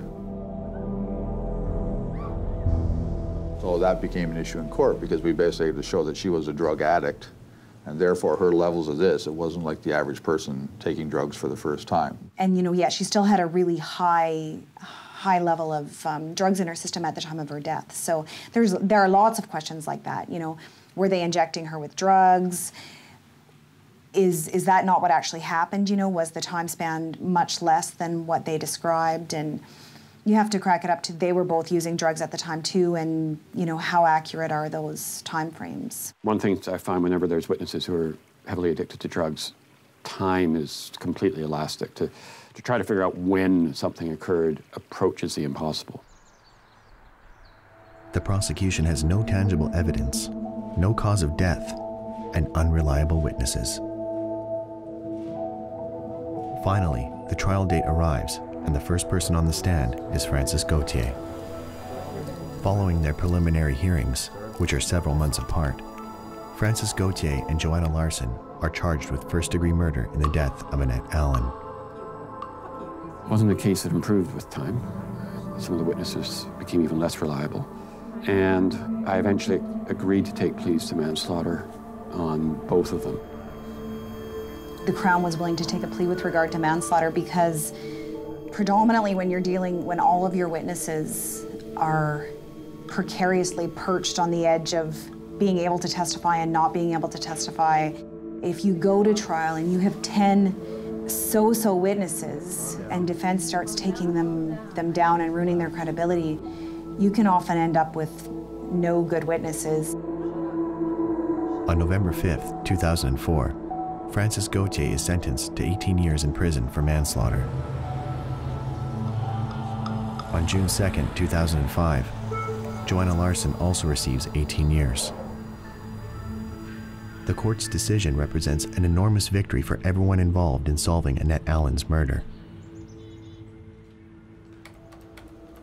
We all had a relationship with Annette Allen in the sense that we, we thought that she was a legitimate victim and that this never should have happened, and it was tragic and horrific. We were pretty pleased with the 18 years uh, when it all is said and done, because that's probably at the very high end of manslaughter that you'll ever see. I feel great every time I think about it, that it ended the way it did, and that people went to jail and there was some justice for her death. For sure, my biggest lesson ever in being a police officer is that every one of those people have a story and a reason for where they are. And if you actually just sit down and listen, you're gonna maybe have a little bit more understanding and appreciation for the spot they're in. We had a good investigative team. We did a good job on that file. It's one of those files that you're proud of at the end of the day. It's one of those files that you get asked about all the time. It's one of those files that people remember that, that hit the media and the general public knows of it. And you actually, it's one of those cases where you actually see some good come of, of everything that you did. The outcome of the trial has repercussions in the community. We saw an impact on that little Whalley community um, where nobody seemed to pay attention to them and the neighbors constantly complained that the police wouldn't take them seriously. The mayor, at the end of this, um, bulldozed the house and uh, destroyed it. And I think it was kind of a symbolic gesture to say, we're taking care of these things and these crack shacks are going to be disposed of and, and dealt with accordingly.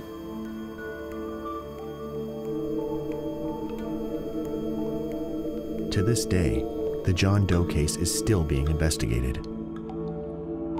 As years pass, hope fades that his death will ever be resolved. Joanna Larson and Francis Gauthier believed that they could outsmart the investigators in Annette Allen's case. But for them, water proved to be an unreliable accomplice.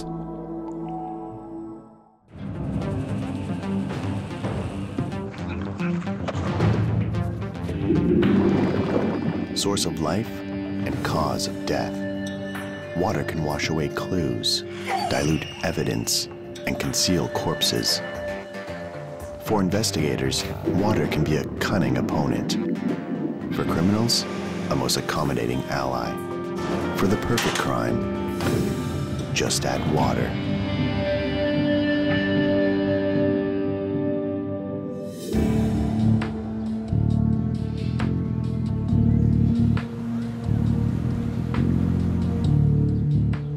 Innisfil, Ontario is a bedroom community 70 kilometers north of Toronto, a quiet recreation town on the edge of Lake Simcoe. On the afternoon of April 25, 1996, a man walks along a trail at Innisfil Beach Park. He notices splashing in the water about 100 meters from the shore. In the distance, a red canoe drifts away. He suddenly sees someone in danger of drowning, clinging desperately to a floating patch of ice. He calls for help. At first glance, this seems like an unfortunate end to a simple canoe ride on Lake Simcoe. However, appearances can be deceiving. Will investigators find they are piecing together a series of tragic errors made by a calculating mind? It's unusual to have someone out on the lake uh, that time of year when the, when the ice is still so close to the shore. 15 minutes after receiving the 911 call, Innisfil Fire Rescue arrives at Alcona Park. Their rescue boat is still stored for the winter, so the paramedics must get to the victim in a rowboat.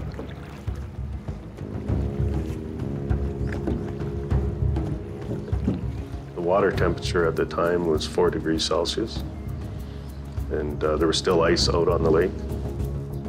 The rescuers reached the man nearly 45 minutes after the 911 call was placed. He is severely hypothermic and unable to speak. One of the fire rescuers at the scene actually asked him to uh, blink once for no, twice for yes. Was there anyone in the canoe with you? And he didn't respond. There are no signs of any other victims, so they return to shore.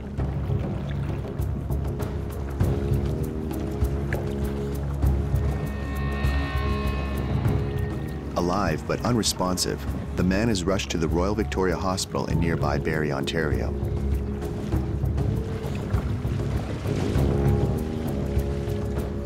Rescuers identify the victim as Winston Malcolm and find his address. The fire rescue team briefs Innisfil police with the victim's name and the few details they have of the incident. Officers then pay a visit to Mr. Malcolm's home to notify any relatives. They went to the residence to notify um, Jan that uh, Winston had been in this situation. She wasn't home. Uh, and that caused them some concern. Several hours later, Winston begins to regain consciousness in the hospital. In a delirious state, he calls for his wife, Jan Marshall. He asks the nurse if Jan is alive. Knowing that Winston was brought in alone, the nurse immediately contacts police. Uh, he indicated that uh, he and his wife went out for a canoe trip just to practice their, their skills, and that uh, his wife uh, was laying in the bottom of the canoe because she was cold. She was covered up with a, a sleeping bag, and they paddled back and forth. And at one point, they became uh, lodged on some ice. They both tried to uh, extricate themselves by use of the paddles, pushing off on the ice floe, at which time the canoe capsized, throwing them both into the water. Police already know there was nobody home at Mr. Malcolm's house. They fear Jan Marshall might still be at the lake. That same evening, police and fire rescue return to search Lake Simcoe. They scan the water and the shoreline at Alcona Beach Park where Winston was found. There is no sign of Jan Marshall. Darkness falls and the search is called off until morning. It was a, it was a missing person case. Had she made it to shore? Was she somewhere along shore? Um, had she succumbed to the water and drowned? They had no idea. The following morning, on April 26th, Detective Inspector Ron Gentle coordinates a recovery team. He calls in the Ontario Provincial Police Dive Unit to begin searching for the body of Jan Marshall. At the time, I was approximately four hours away So it took a good portion of the day to, to pack up and to respond to the call. Detective Sergeant Tom McDonald dispatches officers to attend the scene and question witnesses. We had several witnesses uh, from shore who, uh, who saw uh, the gentleman in the canoe. Uh, starting at approximately 11 o'clock in the morning, he was observed. And throughout the course of the day, right up until the time that the canoe capsized at approximately 3.30 in the afternoon. It appeared that the canoeist was uh, paddling just up and down along the ice, and uh, as it would slowly move out, he kept paddling just up and down, um, going into deeper and deeper water as the ice floe moved out. None of the witnesses, and I think there were six or seven, that uh, watched from time to time from shore, uh, saw the canoe on the ice, saw the canoe in distress. You know, they saw him and only he. They never saw Jan. Um, they thought there was just one person in the canoe. Suspicions arise as the hope of finding Jan Marshall alive begins to fade. Dead or alive, she must be found in order for the investigation to proceed. We were told our inspector was going to be attending the scene because there was uh, rather some suspicion of foul play. Just a accumulation of the time of year, being out in a canoe with the ice still on the water, uh, and the flags were up. So that's, I think, when we first thought that uh, we're going to be a little more prudent with the collection of evidence on this one. We just were given a primary uh, target location, and we went out and searched it. The dive team starts from the public dock at Alcona Beach. The initial search area is 100 by 150 meters and the water temperature is 4 degrees Celsius.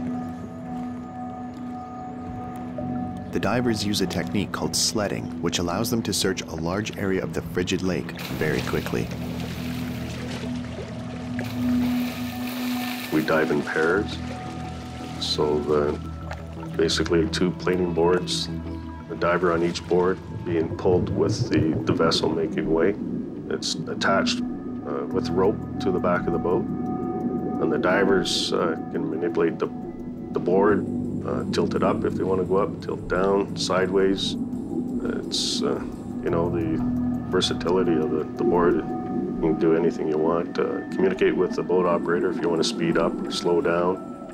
And uh, we cover such a large area using the sleds. And, in this in this lake, Lake Simcoe, the visibility was 15 feet. So, with two divers, uh, you're you're covering a good swath, at least a 20-foot swath with uh, with the sleds. The divers come up empty-handed. The ice would come in closer to shore some days, and the wind would blow it out further. So we didn't have a specific search area, and uh, so we uh, we did the best we could with what the information we had at the time.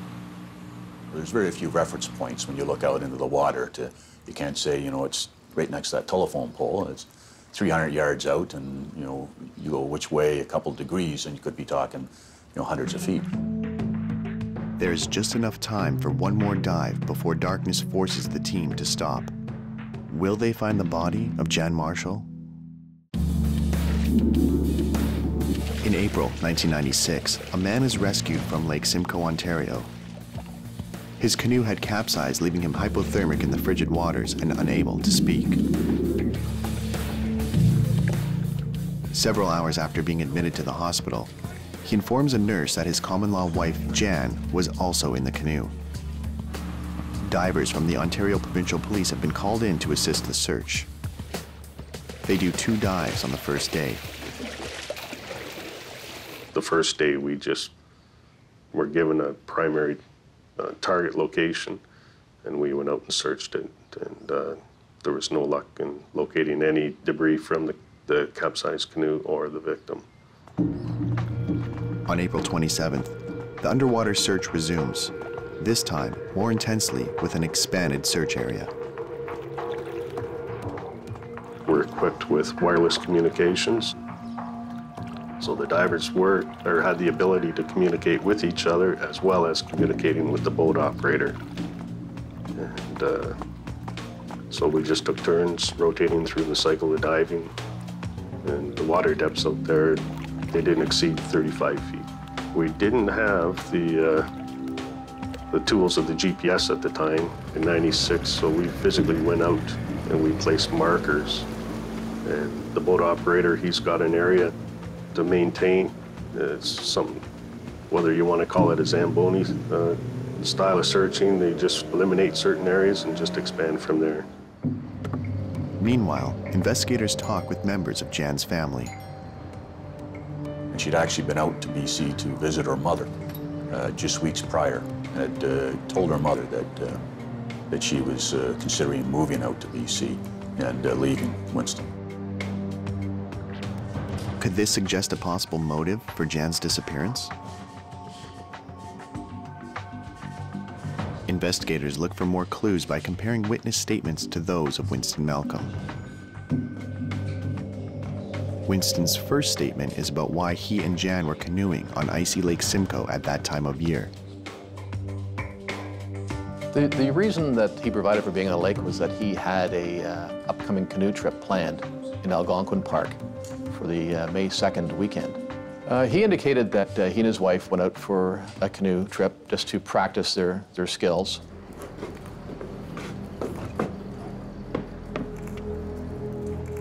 The story Mr. Uh, Malcolm gave us was that uh, he lowered the canoe onto the car and she walked ahead.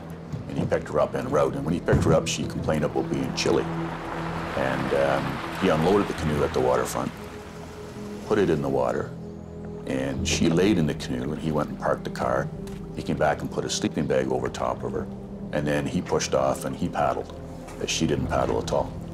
Now, I'm not an avid canoeist, but I'm an outdoors person, and uh, I have canoed. And I can't imagine somebody laying in the bottom of an uninsulated canoe if you're chilled. Um, I just find that would be a, a, a little cold. And her, um, her family were able to tell us that she had just recovered from pneumonia, that she suffered late in the winter as well. So those two facts didn't make a whole lot of sense to us as well. But none of the witnesses saw Jan at the scene. Is it possible that she never got into the canoe in the first place? Witnesses from the shore said the canoe was sitting steady in the water, even. Whereas if you have a 200 plus pound man and a woman at the back of the canoe, because he described her laying in the bottom with her head on his knees, one would think the canoe would be tipped, obviously, to the rear. And nobody saw that. So the, the displacement that was described by the witnesses on shore and the positioning of uh, the, the two bodies in the canoe, as he described, didn't make any sense uh, as well. Curiously, the witnesses did not actually see the canoe capsize. In two separate statements made to the police about the accident, Winston contradicts himself. He gave two versions once again. One was that uh, they got hung up on the ice, that he paddled onto the ice and asked her to help shove off, and that the two of them shoved off from the same side and the canoe capsized. And another version is that she got up to paddle and, uh, and somehow off-balance the canoe. Uh, so once again, it goes back to his, his statements. Um, none of the witnesses, and I think there were six or seven, that uh, watched from time to time from shore, uh, saw the canoe on the ice, saw the canoe in distress. They saw him and only he. They never saw Jan. Um, they thought there was just one person in the canoe. On the second day of the search, the dive team conducts two more unsuccessful dives. They are desperate to pinpoint the location where the canoe capsized. That same day, Winston is released from the hospital. Officers then pay a visit to ask him for help to find Jan. We asked if he could return to the site, uh, and uh, it would uh, greatly assist our search if he could come out in the boat, in the vessel, and uh, give us a location where he suspected it occurred.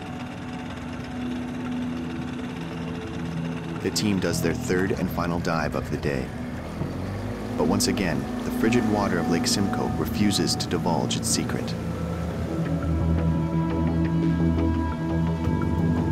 Depending on the, the length of time that he was in the water, um, the survivor he could have drifted quite a ways. Uh, Lake Simcoe is a large area, body of water, and uh, he could, yeah, he could drift quite a ways with the wind and the, the wave action. And uh, he put us out in left field, totally out of the picture. But that was the area he identified. So our third dive that day, we searched it, and there was nothing. The detectives begin to speculate. Was Winston's memory of the accident blurred, or did he intentionally put them on the wrong track? The dive team will spend one more day searching for Jan Marshall. To maximize their chances of finding her body, they turn to an unlikely source for help. The canoe that Winston Malcolm was paddling capsized on Lake Simcoe, Ontario. Rescuers managed to save him, but there is still no sign of his common law wife, Jan Marshall.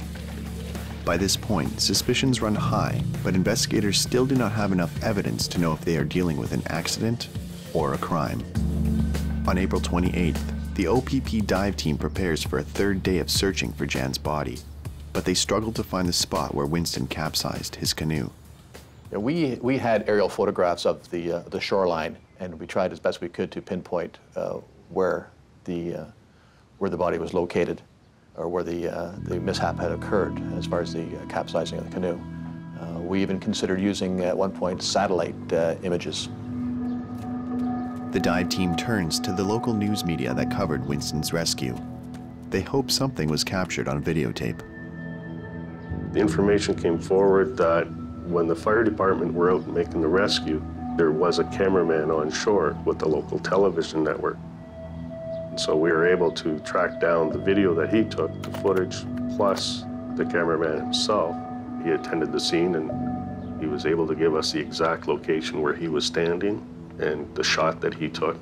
Communicated with a boat that was out on the water. We directed them into the location and they dropped a marker and then we concentrated around that marker the dive team finally has a precise idea as to where they should look.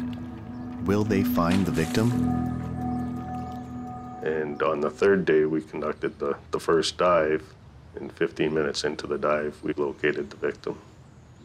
Uh, the victim was lying on her left side uh, with her, she was uh, wearing a dark colored bomber style jacket. It was up over her head. Um, she was wearing brown pants with light-colored socks. She had no footwear, which was in itself suspicious. Um, the, um, there was a coil of rope suspended above her, and it appeared to be looped through the, her belt loop on the back of her pants. And um, her hands were free. There was nothing in her hands.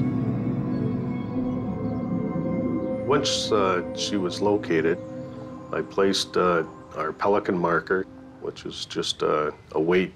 I tied it to her right ankle, and the marker surfaced. I followed the marker to the surface, making sure that it was unraveling all the way up, and uh, notified the, the members in the boat of my discovery. And I was also informed then that uh, my partner, Larry Scott, had located a patio stone. The dive team feels a sense of relief, both for Jan Marshall's family and for the detectives who can now proceed with the investigation. They came up to the, uh, the surface and notified us. And um, we asked them, when they came back and briefed us, to take the video equipment down and to film the, uh, the scene because it, it was our body recovery scene. And uh, it, that is usually one of the largest pieces of evidence we have in, in any investigation, any death investigation. Well, like the old saying goes, a picture's worth a thousand words. Uh, when it comes to court, it uh, saves a lot of time on the stand trying to uh, describe a scene. And again, it's uh, subject to interpretation of what the, the member says. So it's nice that we can play the videotape in the courtroom. And this is exactly the way we found it and uh, no questions asked. And the, uh, the plan was we were to return, videotape as much evidence as possible, uh, return to the dock, unload the camera, take it back to the South Simcoe uh, Police Service uh, office where the tape was to be reviewed prior to disturbing the scene. Uh, that would allow us that if there was any area that uh, they wanted uh, focused, that we could return and everything was untouched, we can go back down and, and videotape it. Plus, it would allow the silt to settle from the initial videotaping. Then we, together, the investigators, the divers, and the forensic identification people, uh, we sat down and viewed the video and came up with a game plan on how we were going to proceed. So I got a good look at the water scene. And what was unique about this is that the, the lake bottom was purely sand.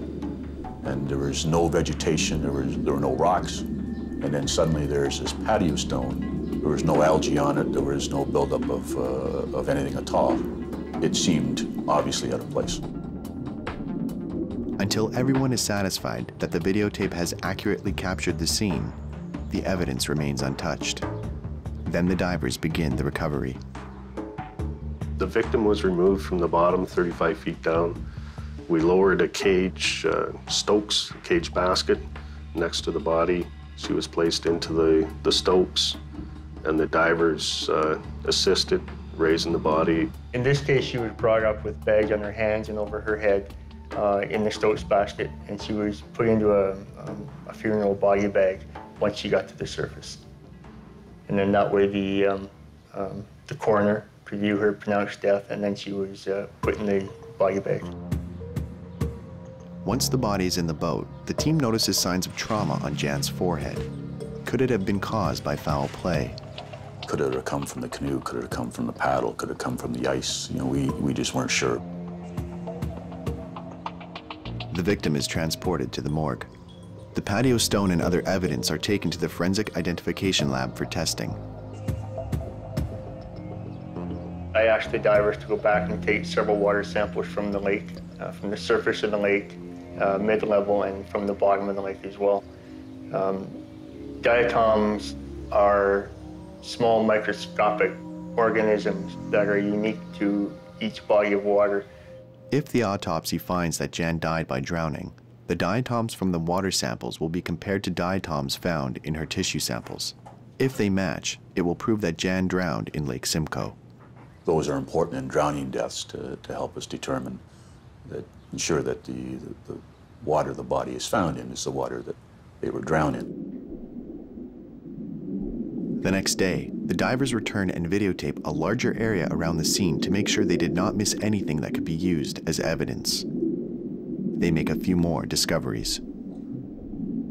There was uh, a hiking style uh, backpack, which was large enough to accommodate the patio stone. There was uh, one female shoe. There was a bungee cord, and I believe that was it. The divers are satisfied that they have recovered all the evidence from Lake Simcoe. Now it's up to the investigative team to piece it all together. Suspicions are high around the circumstances of Jan Marshall's death. The evidence collected is pointing toward a cover-up. Will the autopsy uncover evidence that turns this canoeing accident into a homicide?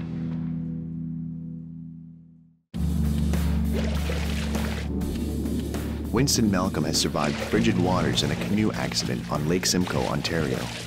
Jan Marshall, his common law wife, has suffered a different fate. Jan's body has been found in the lake along with a cement stone and a backpack. Detective Sergeant Tom McDonald is responsible for delivering the tragic news to Winston. Mr. Malcolm's reaction is rather unemotional. He asked if they recovered the canoe, if I'm not mistaken. I believe that's what he asked. As the detectives leave Winston's house, something catches their attention.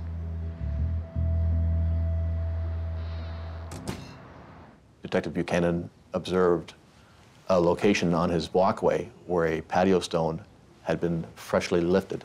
It left an impression in the ground, uh, the same approximate size of the, uh, the patio stone. So obviously, um, that connection, although we still had to prove the patio stone came from his residence, Um, that was certainly enough to raise our suspicions. The investigators must resist jumping to conclusions and focus on building a strong case. Post-mortem hadn't been done yet, um, so we still didn't know the cause of death. The fact that uh, Mr. Malcolm had told the police officer who went to the hospital Thursday night that uh, Jan was wearing big rubber boots, and the next day he had told Tom McDonald that he, she was wearing small shoes to find her shoeless in the water certainly caused us some concern as well. And um, of course, we'd also known at that point in time that Jan had told Winston um, that she wasn't happy and that she was going to end the relationship. And she told family members that uh, she planned on leaving by the end of May. As the events unfolded, you know, um, we discovered uh, rather quickly that uh, the story that Mr. Malcolm had provided uh, was crumbling. Uh, nothing he said was consistent with what we discovered to be the truth.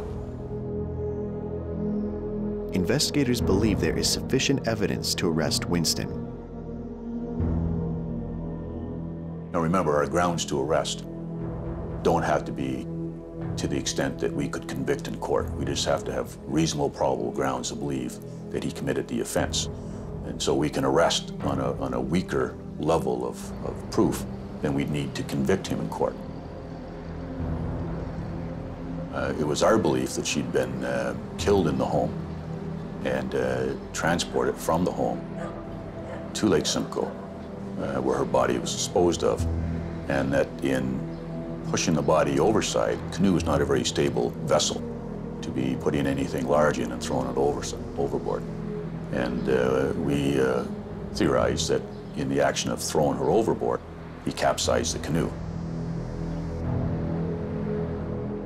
But uh, our fear was um, that uh, Mr. Malcolm was certainly, uh, you know, a wise man and would know that uh, that we are probably theorizing what had taken place, and we were afraid he's going to destroy evidence.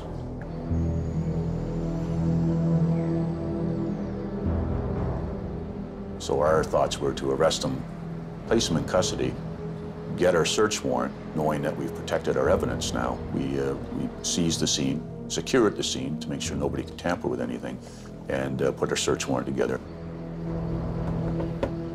On Sunday, April 28th, three days after the alleged accident, Detective Sergeant Tom McDonald arrests Winston Malcolm for the first degree murder of Jan Marshall.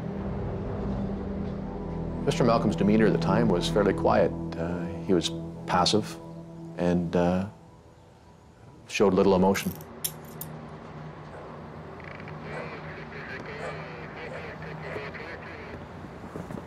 On Monday, the pathologist begins the autopsy of the victim. Forensic Identification Officer Scott McLeod is present. The autopsy was held in Toronto at the coroner's building. My job would be to record the autopsy, so I would take still photographs at that time and collect any evidence that was uh, uh, recovered from her, including her all her clothing. Her body was in, in good condition. Um, there, there was no decomposition. Uh, the water was like being in the bathtub too long. Um, hands were a little um, wrinkled, but uh, she was in good condition.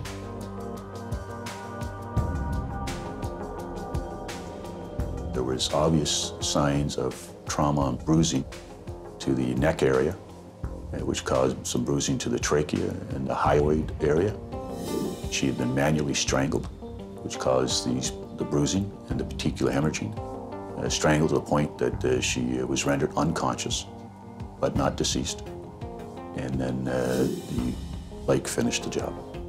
The pathologist, Dr. Sepp, um, believed that death was due to drowning. Uh, she was not dead when she entered the water. And that she had suffered petechial hemorrhaging to both eyelids and eyes.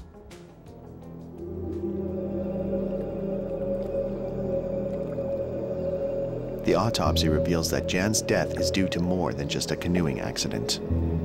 Did Winston accidentally strangle Jan during a fight? Did he panic when he thought he had killed her and threw her into the lake to hide her body? Or did he plan all along to render her unconscious and dump her body in Lake Simcoe to make it look like an accidental drowning?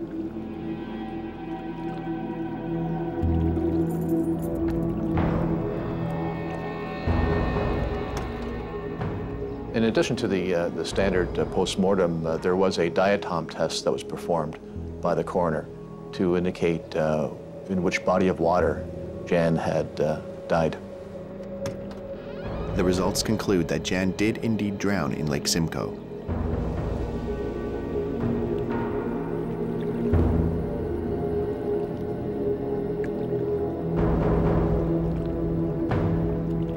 Deep bruising found on her left shoulder blade is consistent with injuries that could have been made by dragging the body by the arms. The investigators want to determine how long the victim was unconscious before she took her last breath beneath the surface of Lake Simcoe. To determine when the assault occurred, the coroner orders a brain scan. If she'd been unconscious for an extended period of time, usually uh, you know, six, eight, nine hours at least, somewhere in that range. Uh, the, that may be shown in the, those brain slides, which would then give us an indication on how long maybe before her body was deposited, because uh, we knew for five hours that she was in that canoe, um, probably unconscious. So how long before 11 a.m. Uh, had the altercation taken place where she was rendered unconscious? So that would help us narrow down the time of uh, the event and help us focus on gathering evidence there. So he did take slides of the brain, and they were sent away, but they came back inconclusive.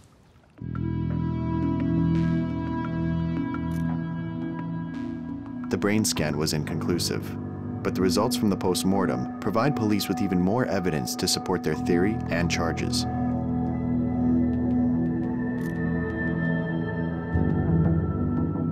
Back in uh, the mid 90s, and the law was a lot different back then. Um, how, however, um, a warrant to arrest, a police officer can arrest a person on reasonable probable grounds that they've committed an indictable offense, which we certainly had at that point in time.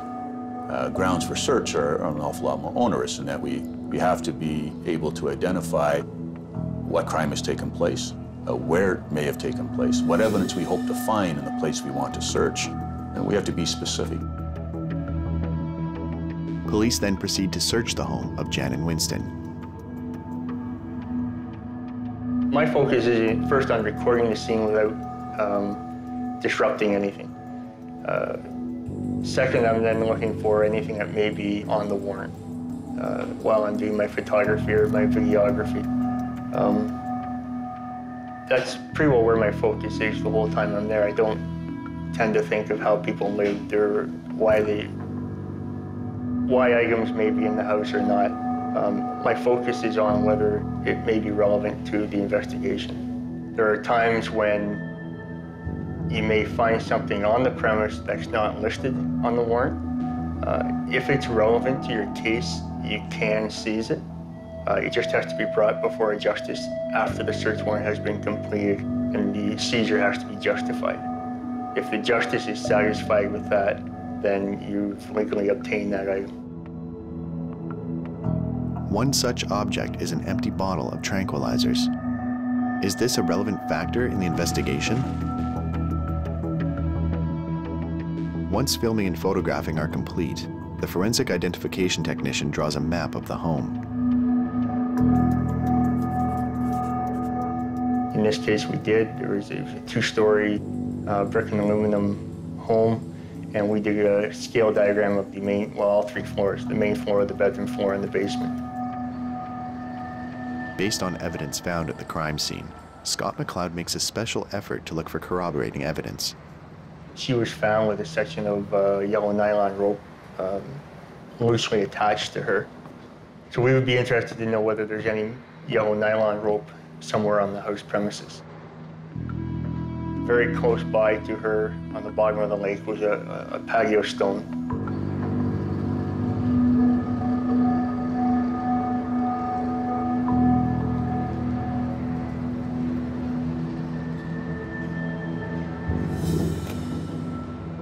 near the rear of the house. The very last position where a patio stone should have been, uh, there was a stone missing.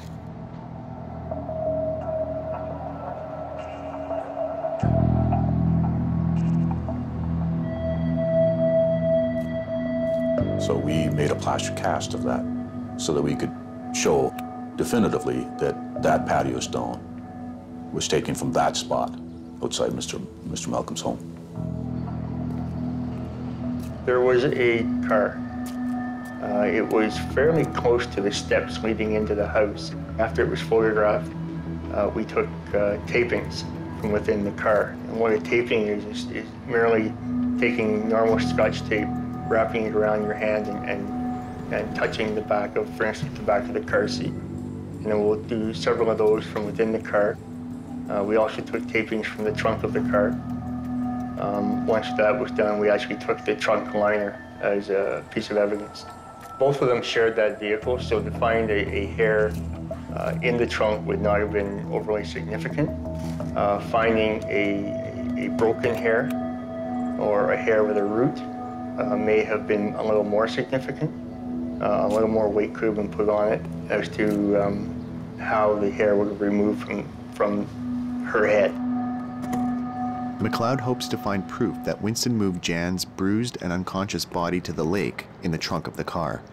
Reports from the Center for Forensic Sciences showed that um, there were microscopically similar fibers on her clothing as were found in the trunk liner. Um, the working theory was that that's how she was transported to the lake, and that's why we, we took the trunk liner to see that whether there was hair and fibers that would match her clothing and vice versa.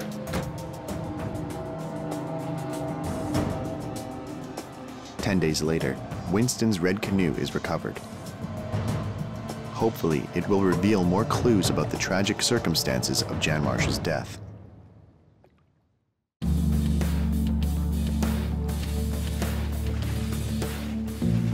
Body of Jan Marshall is found in Lake Simcoe, Ontario. Her husband, Winston Malcolm, claims his wife capsized the canoe, throwing them both into the frigid water. Witness statements contradict Winston's story. After the discovery of important evidence, they arrest him for the murder of his wife.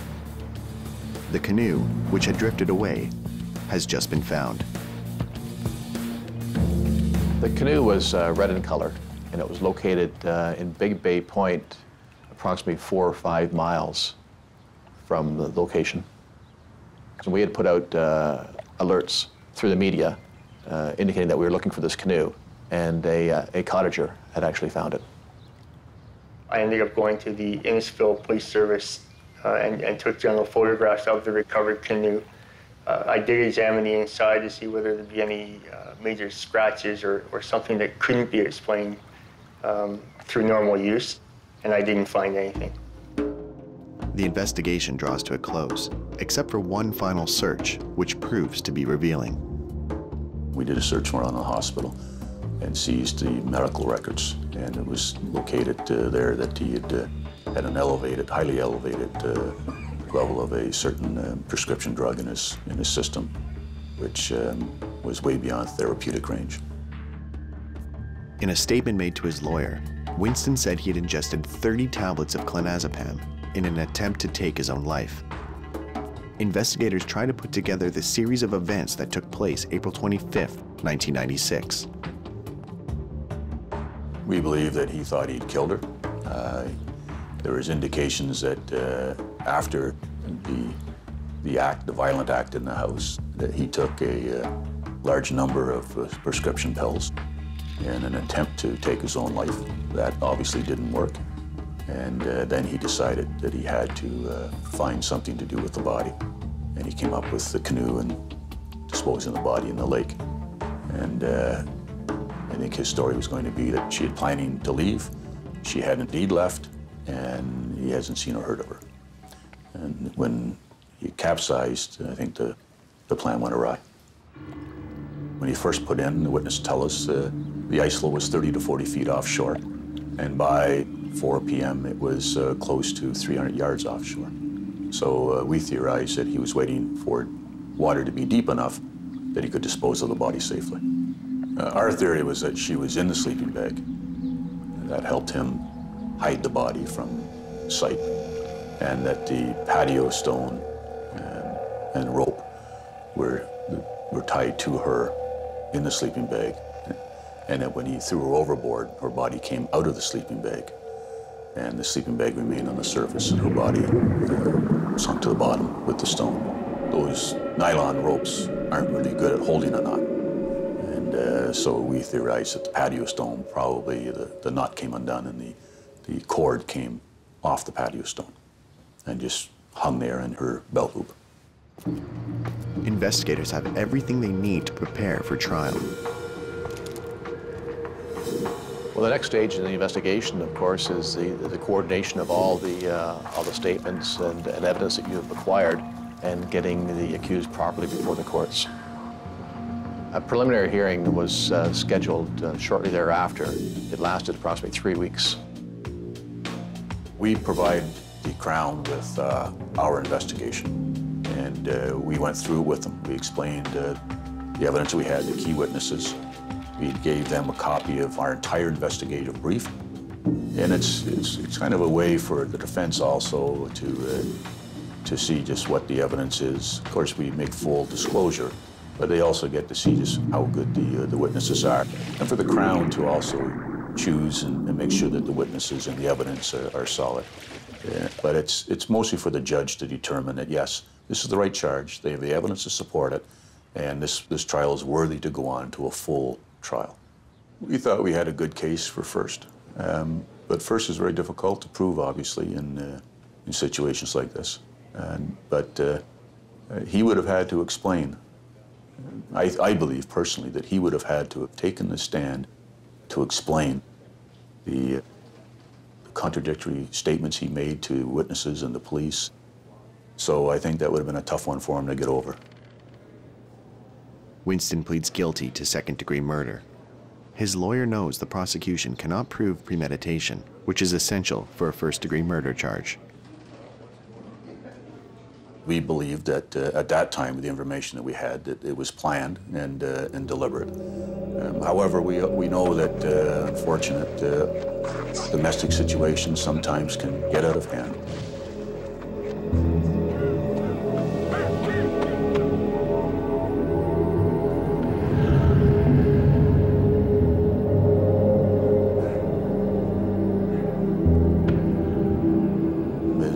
Marshall had a uh, bruising on the forehead. We believe she was hit with something. And the forehead, there was some blunt uh, trauma to the forehead, a manual strangulation. There were other bruising to her elbows. And so there were signs of a struggle or signs of violence. Uh, not unlike uh, you know, a, a domestic situation or a physical altercation.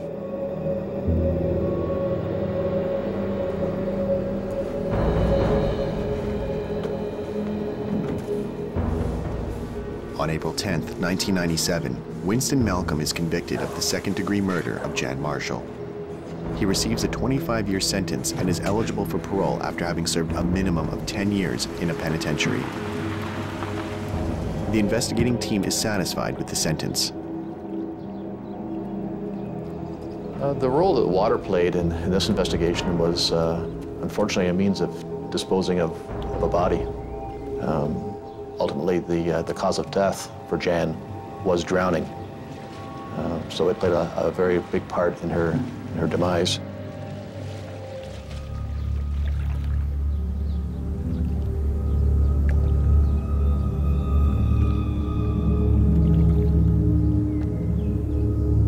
It struck me in that uh, um, the water killed Jan, yet that wasn't the intent of uh, Winston.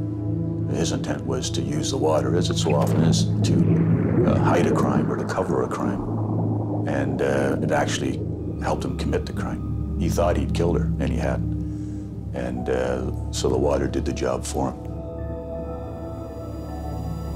We may never know for sure if Winston Malcolm intended to kill Jan Marshall.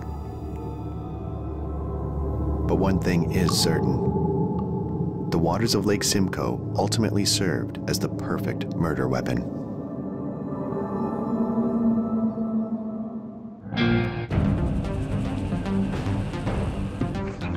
Source of life and cause of death. Water can wash away clues, dilute evidence, and conceal corpses.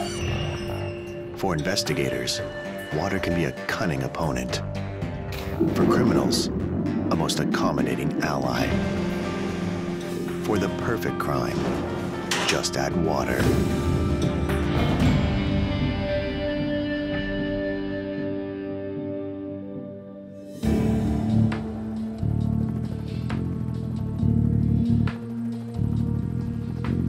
In the Pacific Northwest, along the southern coast of British Columbia, lies the picturesque Strait of Georgia. This will be the stage for the gruesome discoveries of seven disarticulated human feet. All of these feet, encased in running shoes, will be given over to the authorities over a period of two years. This case will baffle the authorities and scientists for years to come and will capture the interest of the international press.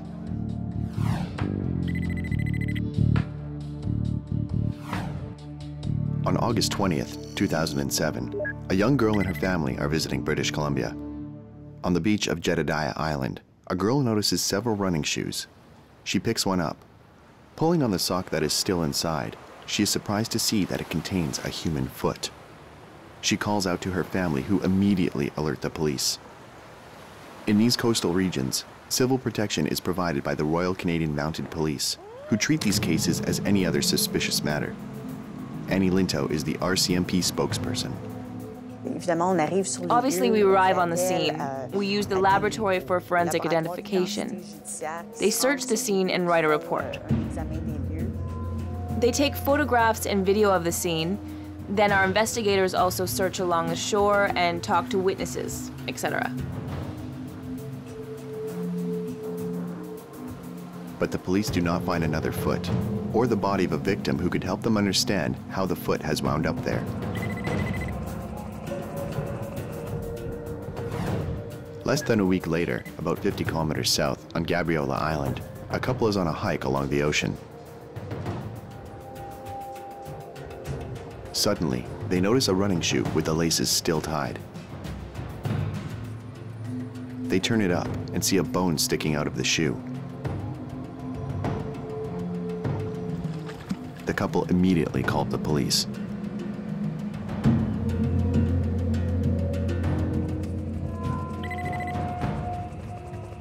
A press conference, the RCMP report what little they know at the time.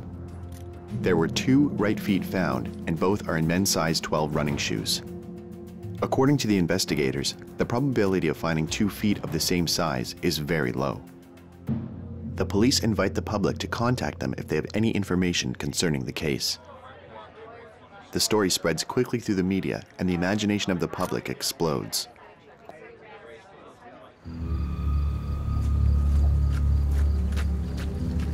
Questions arise. Who did the feet belong to? Why did they end up on these islands? How did they become separated from the rest of the body? Are they linked to a single event?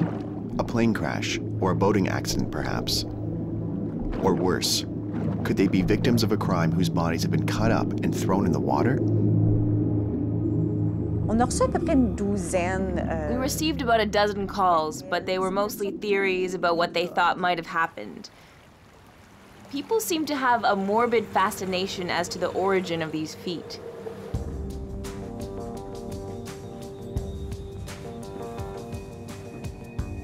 The first thing we must do is to identify the victim. It's the first step. Then the identification will show us a bit more whether or not we must pursue a criminal investigation.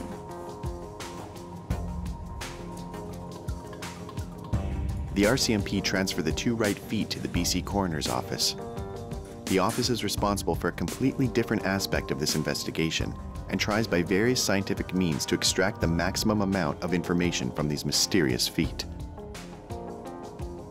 The police departments are involved in a, a fault-finding process. They're looking for uh, criminal activity. They're investigating the potential of a crime, whereas the coroner service are involved in a fact-finding investigation. So we're responsible not only for the identification of the, of the decedent, but also when they died, where they died, how they died, and by what means. We classify that death as either natural, um, uh, suicide, accident, homicide, or undetermined. If you've only got a foot, why is it that you only have a foot? And the pathologist can sometimes help with that by determining whether there's any evidence of trauma, if there's any um, mechanical removal of that foot from the rest of the body. When a foot is found in a shoe on the beach, you know, there's not a lot that we know about it immediately, and we're certain that's what the investigation is all about. And from there on, we'd use a number of different experts. An anthropologist might be really valuable. Um, there might, you know, there may be bugs within the sock. Uh, so if there's insects, perhaps an entomologist might be useful to help us. How quickly a body decomposes depends on where it is and the types of organisms that attack it. The coroner enlists the services of Dr. Gail Anderson, who researches human decomposition. I've been working in forensic entomology now for over 20 years, and whenever I speak to police officers, uh, I've been able to show the kind of research I do and how it works in a, an actual homicide investigation. But they would always ask, yes, but what happens when a body's in the water? And it became very frustrating not to be able to answer that question. So we started looking at uh, carcasses, animal carcasses, first of all in fresh water, and then now more recently in the marine environment. We've always used pig carcasses in forensic entomology. They're considered to be a very good mimic for human decomposition. Obviously, it's much more difficult to, to use human bodies. So pig carcasses make a good replication for humans. Pigs are roughly the same size as the adult human torso. So this is where most of the decomposition is taking place in a human being, with the face and the head and, and the gut region. And so a pig, if we get the right size pig, roughly mimics that. My main interest in looking at bodies in water is to look at the animals that uh, scavenge or feed on the body. As a forensic entomologist on land, I look at the insects that colonize a body over time and use that to estimate how long that person's been dead. So in the water, I'm trying to do the same sort of thing, only there I'm not looking really at insects, I'm looking at their family members, the, the same sort of group. We're looking at the arthropods, so crabs, shrimp, things like that. We do know of situations where bodies, we know they only went into the water a few days before and they're almost skeletonized when we find them. Uh, that's one of the problems of the ocean. When you look at research on land, you can say, well, research conducted in this area is going to be very similar to research conducted in this area because geographically they're very similar. They've got the same kind of plants, meteorological conditions, and things. But in the ocean, the, the situation changes within a few meters. In my shallow experiments, I found that carcasses that rotted on rock were very different from those that rotted on sand, even a few meters apart. The coroner's office also enlists the services of a DNA expert to gain insight on this strange case. Well, once the autopsy is complete, that's when we look at extracting a DNA sample. That sample would be submitted to a lab, and they may have to try a number of times to actually generate a profile. Um, just because we have a sample doesn't mean we're going to get DNA. Um, there's a big challenge with developing DNA profiles from degraded remains. Investigators call on the Department of Forensic Science at the BC Institute of Technology. Moisture can be detrimental to DNA because it does facilitate the growth of microbes, bacteria, and fungus. So it just allows those things to infiltrate a sample and excrete these enzymes called nucleases, which is what degrades the DNA and makes it unusable. But as you decompose, that uh, soft tissue will break down, and along that, along with that, would be the, the breakdown of the DNA. So um, what you want to do is go after the hard tissues in a, in a difficult case because the hard tissue lasts longer and therefore protects the DNA inside the hard tissue.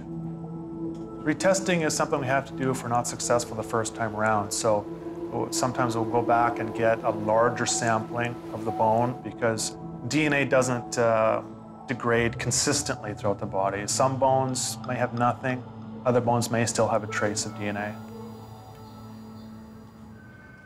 While specialists examine the feet for clues to their origins, the RCMP begin looking at events that could have caused the death of the victims. They start with all accidents over the past years that occurred in or around the water on the south coast of British Columbia. But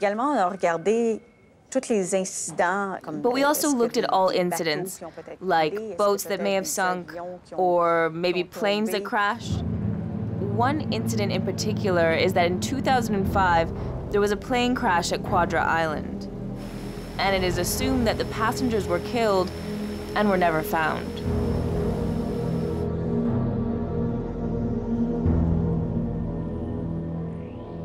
In 2005, five men board a float plane for what should be a routine trip to a logging camp up the BC coast. They take off from Campbell River in the morning mist and are never heard from again.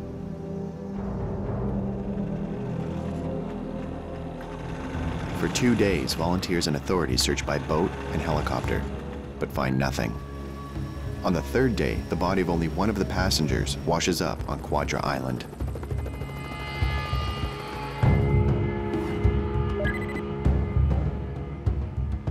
Five months later, the plane is recovered from 240 meters underwater. Sadly, the pilot and the three other passengers are not on board. Two years after the plane crash, the families of the missing men hear about the feet washing ashore only 100 kilometers away. Their hopes are sparked, and they eagerly give DNA samples to the RCMP and anxiously await the results. They'll be compared with the profiles from the found remains.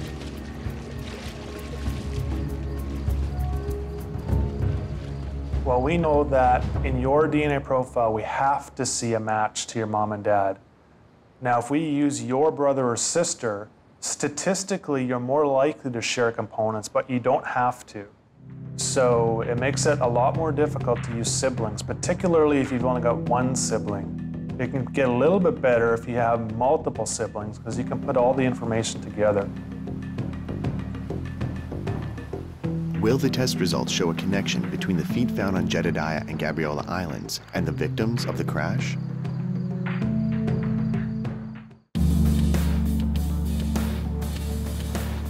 In August 2007, in British Columbia's Strait of Georgia, tourists make two separate discoveries of running shoes containing human right feet. Only 50 kilometers separate the two islands where the gruesome discoveries are made. The RCMP and the coroner's office collaborate. They rely on many experts to help them explain the discoveries.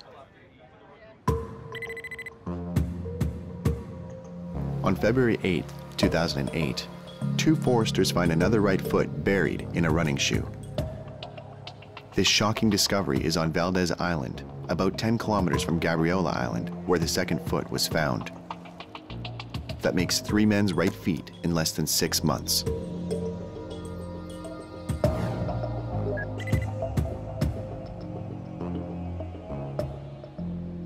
After the discovery of the second foot, we were a little curious. Maybe it was a coincidence. But after the third, we were very curious. It is a bit strange. So the police started an investigation that was a little bit more integrated. But it's not unusual to found, find incomplete body parts. I mean, that is not something that, you know, that, that would shock us. Many, we, we found with the unit specifically that I manage, we have up to 60% of our cases that are incomplete. So finding incomplete bodies is not unusual. It's just that these feet and shoes were found in a short span of time.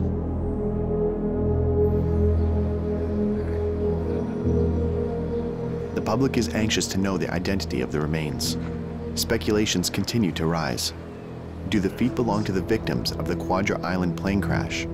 Or do they belong to victims of a completely different accident? The coroner has determined that there is no evidence of trauma or mechanical removal of the feet from the rest of the body. So how did the feet become disembodied?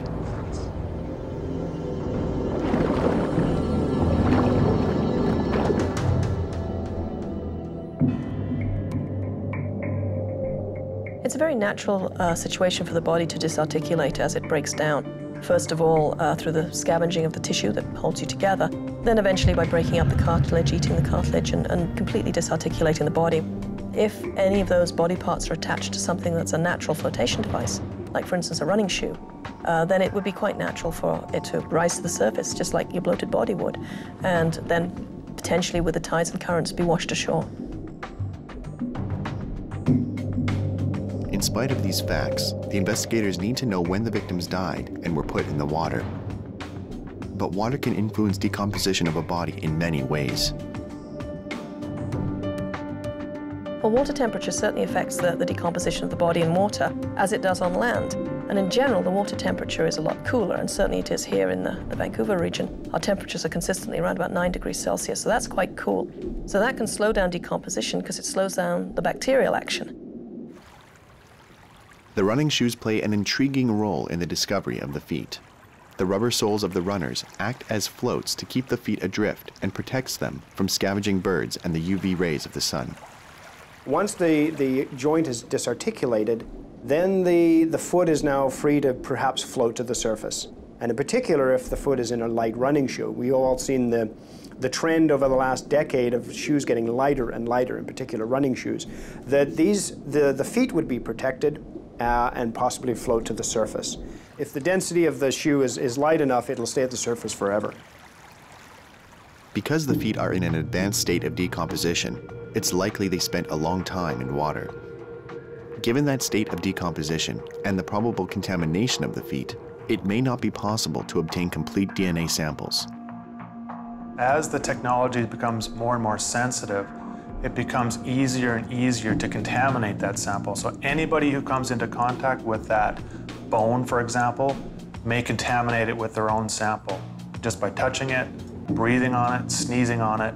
So it's contamination control is a key concern and one of the reasons why it takes long to get uh, DNA from these, uh, these samples. Well, there's different ways to clean samples. You can sand it, you can rinse it with uh, water and ethanol, and we actually expose all of the samples before we pulverize them to really intense UV light. Bleach is actually a, a cheap and effective way to decontaminate uh, your evidence. So you can get rid of the DNA that you don't want. Being able to obtain DNA samples remains the foundation of the investigation.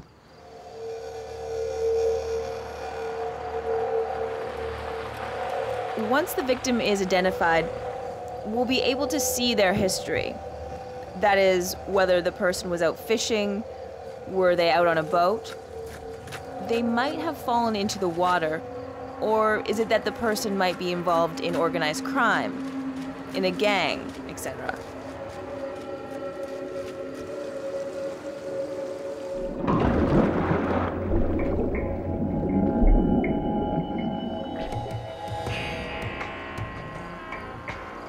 It is the mandate of the coroner's office to determine if a death occurred due to natural causes, suicide, or homicide. In a case such as the mysterious feet, that represents a big challenge. It's not just relying on what the pathologist can advise, but also what the scene's telling you, what the history has indicated. We know of many accidents. You know, there are plane crashes, there, there are boating incidents. We know of mis many missing people that we prioritize um, because there is always a potential that that person may have been brought by various currents and other ways to that particular point where, were, where the feet were recovered.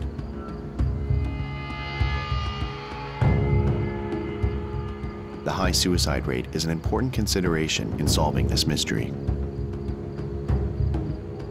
Vancouver is located along the Fraser River and has a number of very high bridges that link the north and south shores. Over the decades, many people have chosen to end their lives by jumping to their death from these bridges. Another question is whether or not the feet could be linked to the cases of missing men in Metro Vancouver. Many of these men disappeared in or close to water.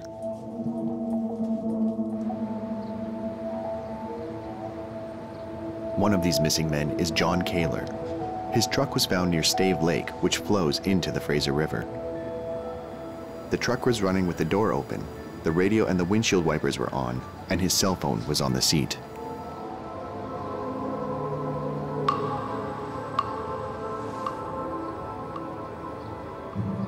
In the course of our investigation, we reviewed all of the missing persons files in the province. Then they were prioritized. And then these files were given to investigators to try to see if we could find additional clues.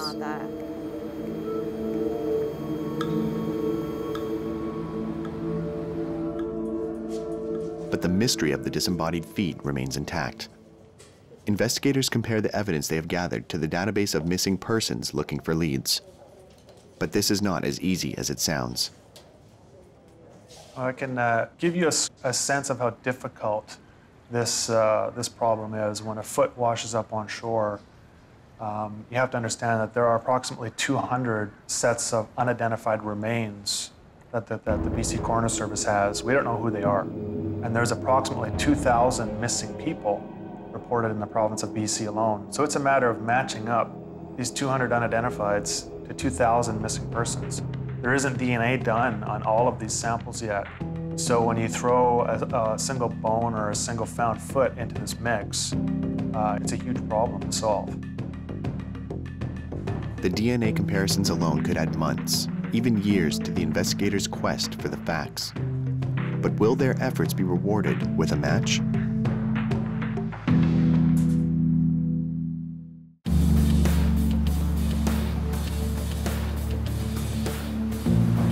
Within six months, three disembodied men's right feet are found inside running shoes.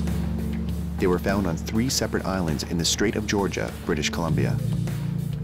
Theories are multiplying. Were these victims of suicide, boating or marine accidents, or maybe the growing number of gang-related murders? Some people believe the feet may belong to victims of a plane crash near Quadra Island two years earlier. Since then, the wrecked plane has been recovered. There were no passengers on board. The seatbelts were not attached, suggesting that the victims escaped before the crash.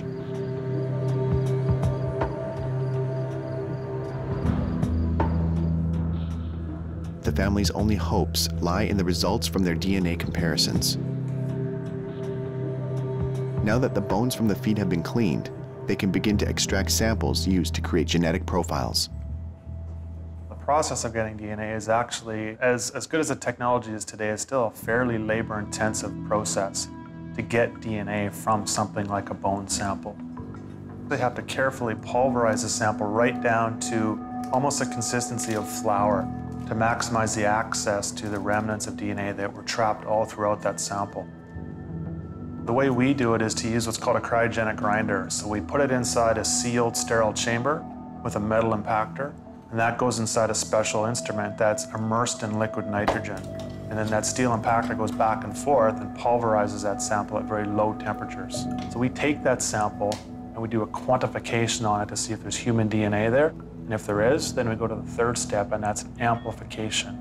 Use a, using a technique called polymerase chain reaction that allows you to amplify the regions of interest for identification. We call that an electropherogram, but it's just easier to say it's a DNA profile. It looks like, on a piece of paper, uh, a series of colored peaks. And those colored peaks, as I mentioned before, will, can be uh, transposed into a series of unique numbers. Besides the human remains, the only other pieces of evidence are the runners. What can investigators discover from the shoes? So we made inquiries with the manufacturers of the shoes to find out where the shoes were made, as well as where and when they were distributed, in an attempt to build a time frame of when the victims might have disappeared.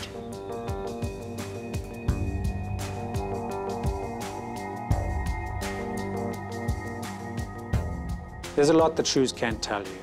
There's a production date for a shoe, for instance. So that provides you with sort of some sort of temporal parameters to look at. So you can start looking at missing people within a certain range of time.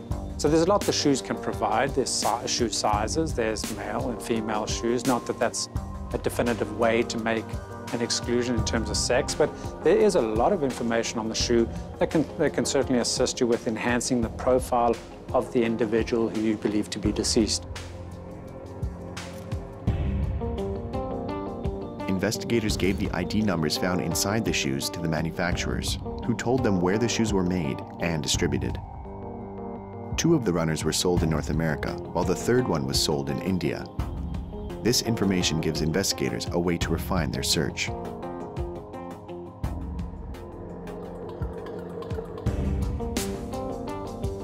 The long process of creating genetic profiles for the three feet is complete. But that is only the first step in the identification process. Once you get a DNA profile from that, all that tells you is the sex of the individual. Unless you have something to compare it to, it's really of no use. So the next, the next half of the investigation is to find something to compare to. They begin the difficult task of reviewing hundreds of files of missing persons using the criteria they have gathered, such as sex, dates of production for the runners, location, and date of when they were last seen alive. From those results, a list of people to whom the feet could belong to is produced. relatives of the people on that list can then be contacted for samples of DNA to compare to the profiles made from the remains. So that comparison could be running it, running it against a database of known samples. It could be the investigator going out and speaking to the family and getting samples from the family to compare against. Or it could be going to the missing person's apartment and getting their toothbrush or razor to use as a, a source of known DNA for comparison. We have databases now that help us screen large numbers of profiles, but ultimately it's going to come down to an expert like myself that has to look at these two profiles from the bone and from some other source and make, do a statistical calculation and come up with an expert opinion on whether or not this is the deceased person you think it is. While Dean Hildebrand compares results to the DNA database, the case of the unknown feet gets bigger. May 22, 2008, a man is walking his dog on Kirkland Island near the Vancouver airport. Kirkland is a small uninhabited island in the Fraser River Delta. It is about 40 kilometers from Valdes Island, where the third foot was discovered three months earlier. A running shoe with a sock inside attracts the attention of his dog. The man looks inside the sock and discovers a human foot. This represents the fourth right foot in nine months. However, it's the first female foot. Is the fact that they are all right feet a coincidence? Speculations run high.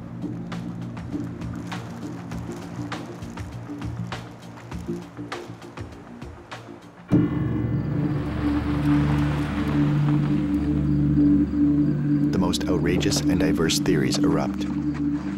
Is it the work of a serial killer whose calling card is right feet? Do these feet belong to victims of drownings in the Pacific Ocean?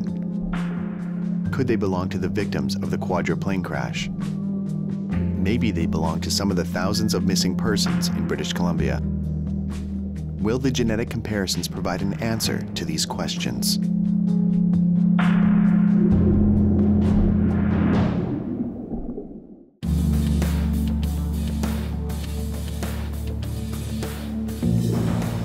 Ever-growing number of disembodied feet have been found in the Strait of Georgia, British Columbia. The discoveries stun the public and baffle authorities. The families of the victims of a plane crash, as well as those of dozens of missing men, anxiously await the results of the genetic comparisons with the feet. If the female victim has lived in British Columbia for a while, the chances of identification are better than for male victims because of the work done by the BC Cancer Agency. The closest thing to a repository we have for potential known samples of DNA would be the BC Cancer Agency, who keeps pap smears on file for obviously half of our population that has pap smears done. Um, and we've actually used pap smears to identify skeletonized remains uh, in, in the past. And a lot of investigators, well, it's getting better now, they know that. But uh, those, those, those slides can be kept for many, many years, and they're known sources, they're medical samples from half our population. But none of the pap tests in the bank lead to an identification of a female foot. June 16, 2008, a couple is out for a walk on Westham Island in Delta, British Columbia. Floating on the water along the shore, they discover the fifth foot in less than a year. The island lies less than one kilometer from Kirkland Island, where the fourth discovery took place, so one might expect the feet to match. This foot belongs to a man, just like the other three feet, but it is the first left foot. There was something very strange about either right feet or, or the source. Um, in some sense, it was a bit of a relief when a left foot showed up as well. From a scientific perspective at the moment, I don't think we would speculate that right feet have any special characteristic over left feet. Um, it's just the, the, the way things worked out. The investigation reveals that one of the shoes was sold in India. This raises the questions where did these feet come from, and how did they get into the Strait of Georgia? The investigators turn to the oceanographic community to help unravel the mystery. Dr. Richard Dewey has his own theory.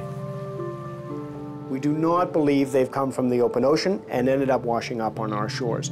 The, the oceanographic dynamics do not support that hypothesis. So in that sense, we can constrain the investigation to really being a local investigation. Georgia Strait is quite separated, and the flow at the surface, where these feet would have done most of their traveling, is outwards, out to the Pacific Ocean. So it's unlikely uh, we're looking at a remote source, they're probably local. But knowing that the feet are from this region does not do much to help the investigation. The Fraser River is 1,375 kilometers long, and the Strait of Georgia has an area of 6,800 square kilometers. That's more than 100 times the area of the island of Manhattan, an enormous area to investigate. So there's a lot of circulation patterns that are going on at the same time, and Strait of Georgia is a very large basin, and it's influenced by primarily tidal motion, the outflow of the Fraser River into the Strait of Georgia is enormous and has a significant effect on the surface current. And all that fresh water flows into the Strait of Georgia and influences the circulation. So the Fraser River plume accentuates the circulation that would go around the inlet or around the basin and cause things to perhaps circulate for weeks or months and spread things out. With the investigation covering such an extensive territory, determining the exact location of these feet is almost impossible.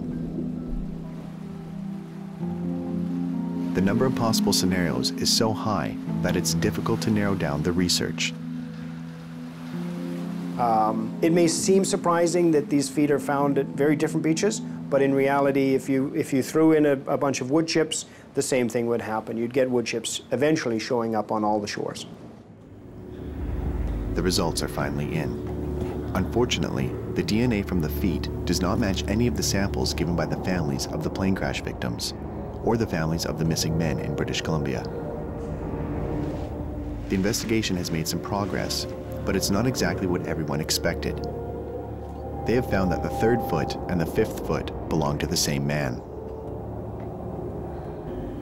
The curious thing about these feet is the fact that they were washing up not all together, um, but spread out around the entire Strait of Georgia uh, geographically and spread out over a long period of time. Um, it turns out that two of the feet from the same body washed up on different shores months apart. The feet may come up weeks apart or they may come up very close together. Um, if they come up uh, weeks apart, they will enter different sort of circulations as they come up. They may encounter different wind conditions, for example, dip come up at different times of the season.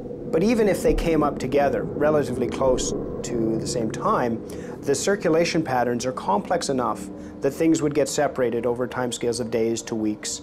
And the wind eventually blows things up onto the shore, the wave action and wind action. So eventually, flotsam that floats on the surface will eventually end up on the shore. And so the, it's perhaps not too surprising that uh, even feed from different bodies, but certainly it's the same body, ended up on opposite shores, separated by several months. Another question that puzzles investigators is what happened to the bodies of the four victims? Gail Anderson studies decomposition using the world's most advanced ocean research technology, the Venus Ocean Observatory. When you're doing my kind of research in the ocean, uh, accessibility is the main problem. Obviously, you need to have cameras down there, you need divers, you need boats. And this becomes very limiting financially, but also safety-wise. I can't put carcasses at very great depths if I'm using human beings to go down. And obviously, there's a limited amount of time that people can spend down there and how often they can go down. Venus eliminates all of those problems by having a remote camera on the bottom of the ocean that I can control from a laptop anywhere in the world.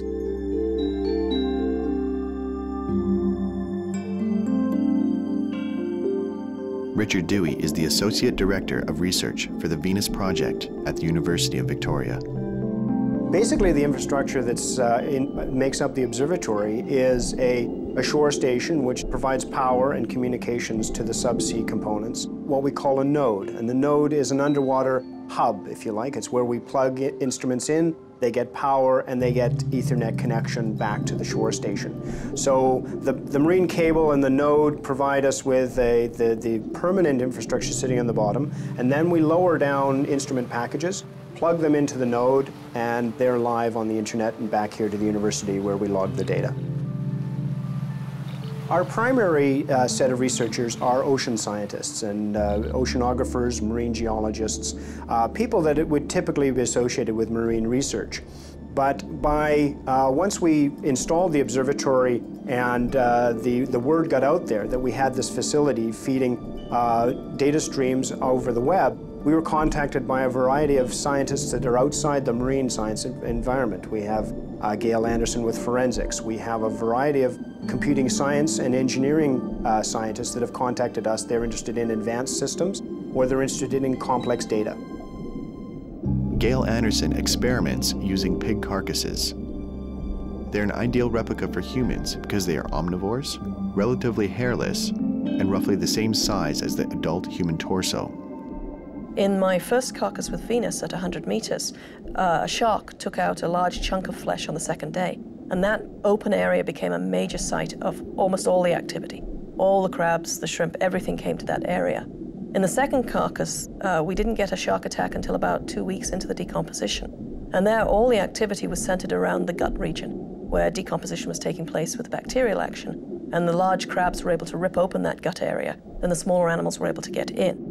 A third pig carcass has been placed at a much lower depth. In the third carcass, it was a lot lower oxygen levels, so a lot of the larger animals, like crabs, couldn't get to the bodies. There, there was almost no damage to the pig for several months until the oxygen increased.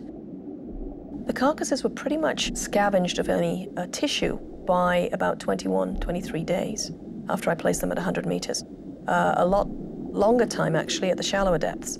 But uh, to actually see the bones completely separated and, and no cartilage left was about 40 to 43 days under these circumstances. Regardless of the depth the victim sank to, it's probable that there was an onslaught of living organisms attacking the body. It's likely that the running shoes protected the feet and floated them to the surface.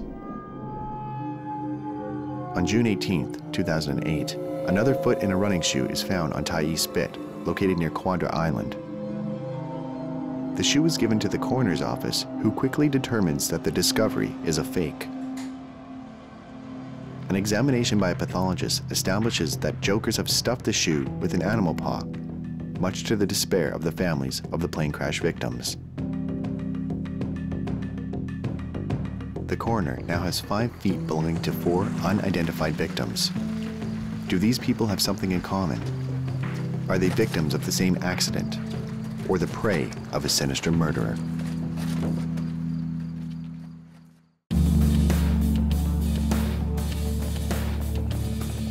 In a period of 10 months, five human feet have been discovered encased in running shoes. They have been found on the shores of the Fraser River and islands of the Strait of Georgia in British Columbia. For the sixth time, the families of the missing persons and plane crash victims have had their hopes shattered. What appeared to be a sixth foot turned out to be a cruel hoax. You know, when you, when you stage a hoax like that and you take all the investigative resources and time to attend a scene, to process a case. That time could have been committed to making an identification on another case, uh, bringing, bringing closure to this family. It's, it's really devastating to the family because as soon as they hear of, of another human remains case found, they're all waiting for, you know, they're waiting for that call, they're expecting the worst. It puts families under tremendous amount of pressure. Authorities are still baffled Investigators have not been able to put an identity to any of the human remains, and they have not found any evidence to link these remains to a crime. On July 10, 2008, about a year after the discovery of the first foot, the authorities hold another press conference. They present the new information they have pictures of the running shoes, information on when and where the shoes were made, and where they were distributed. So it's really important for us to utilize the media as, a, as an investigative tool to get very um, important pieces of information, some of those enhanced detailed uh, characteristics um, out into the community so that hopefully someone recognizes them and can, can associate that with somebody who's missing from their community, from their family.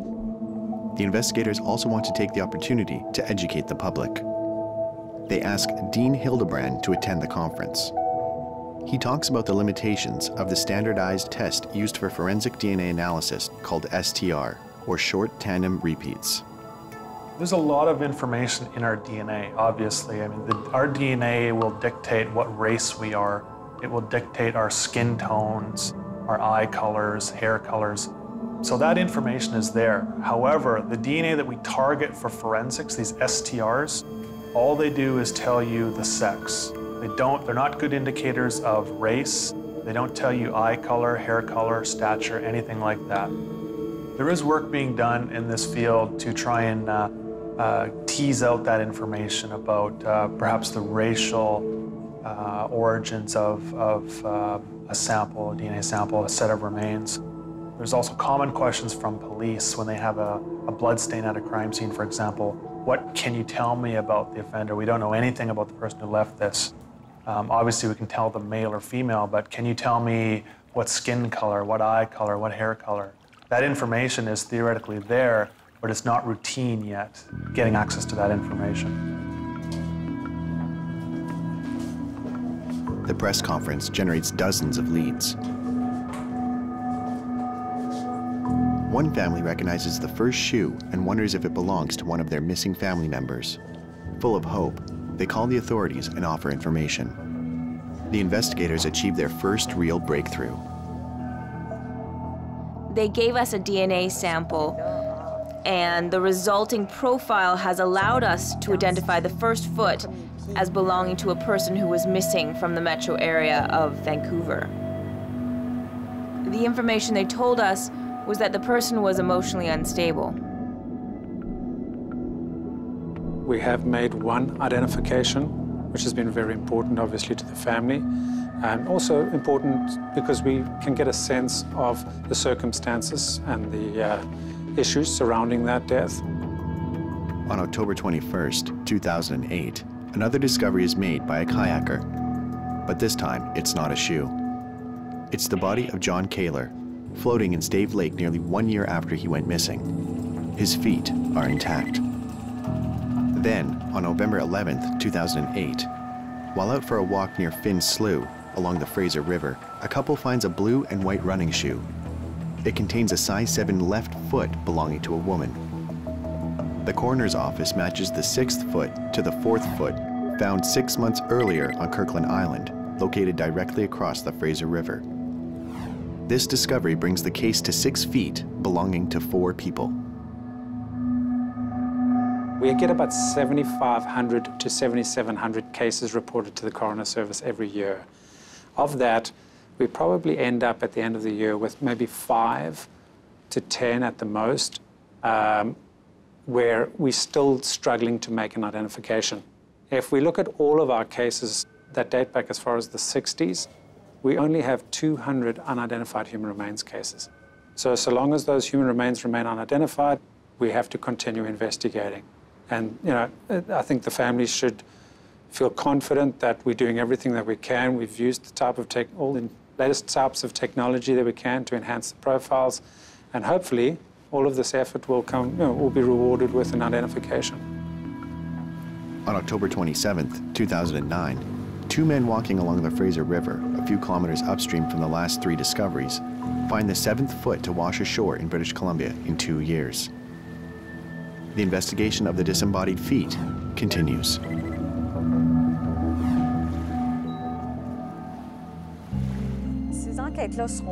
These cases are not closed as long as the victims have not been identified. So they could stay open forever.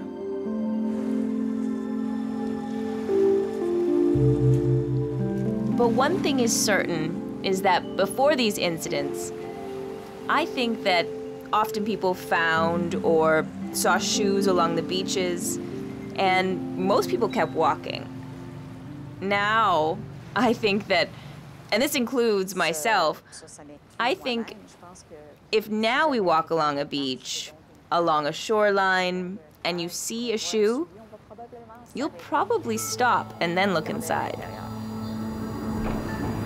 The waters of the Fraser River and the Strait of Georgia still hold their secrets. Maybe one day, another clue will wash ashore and reveal the identities of the disembodied feet of British Columbia.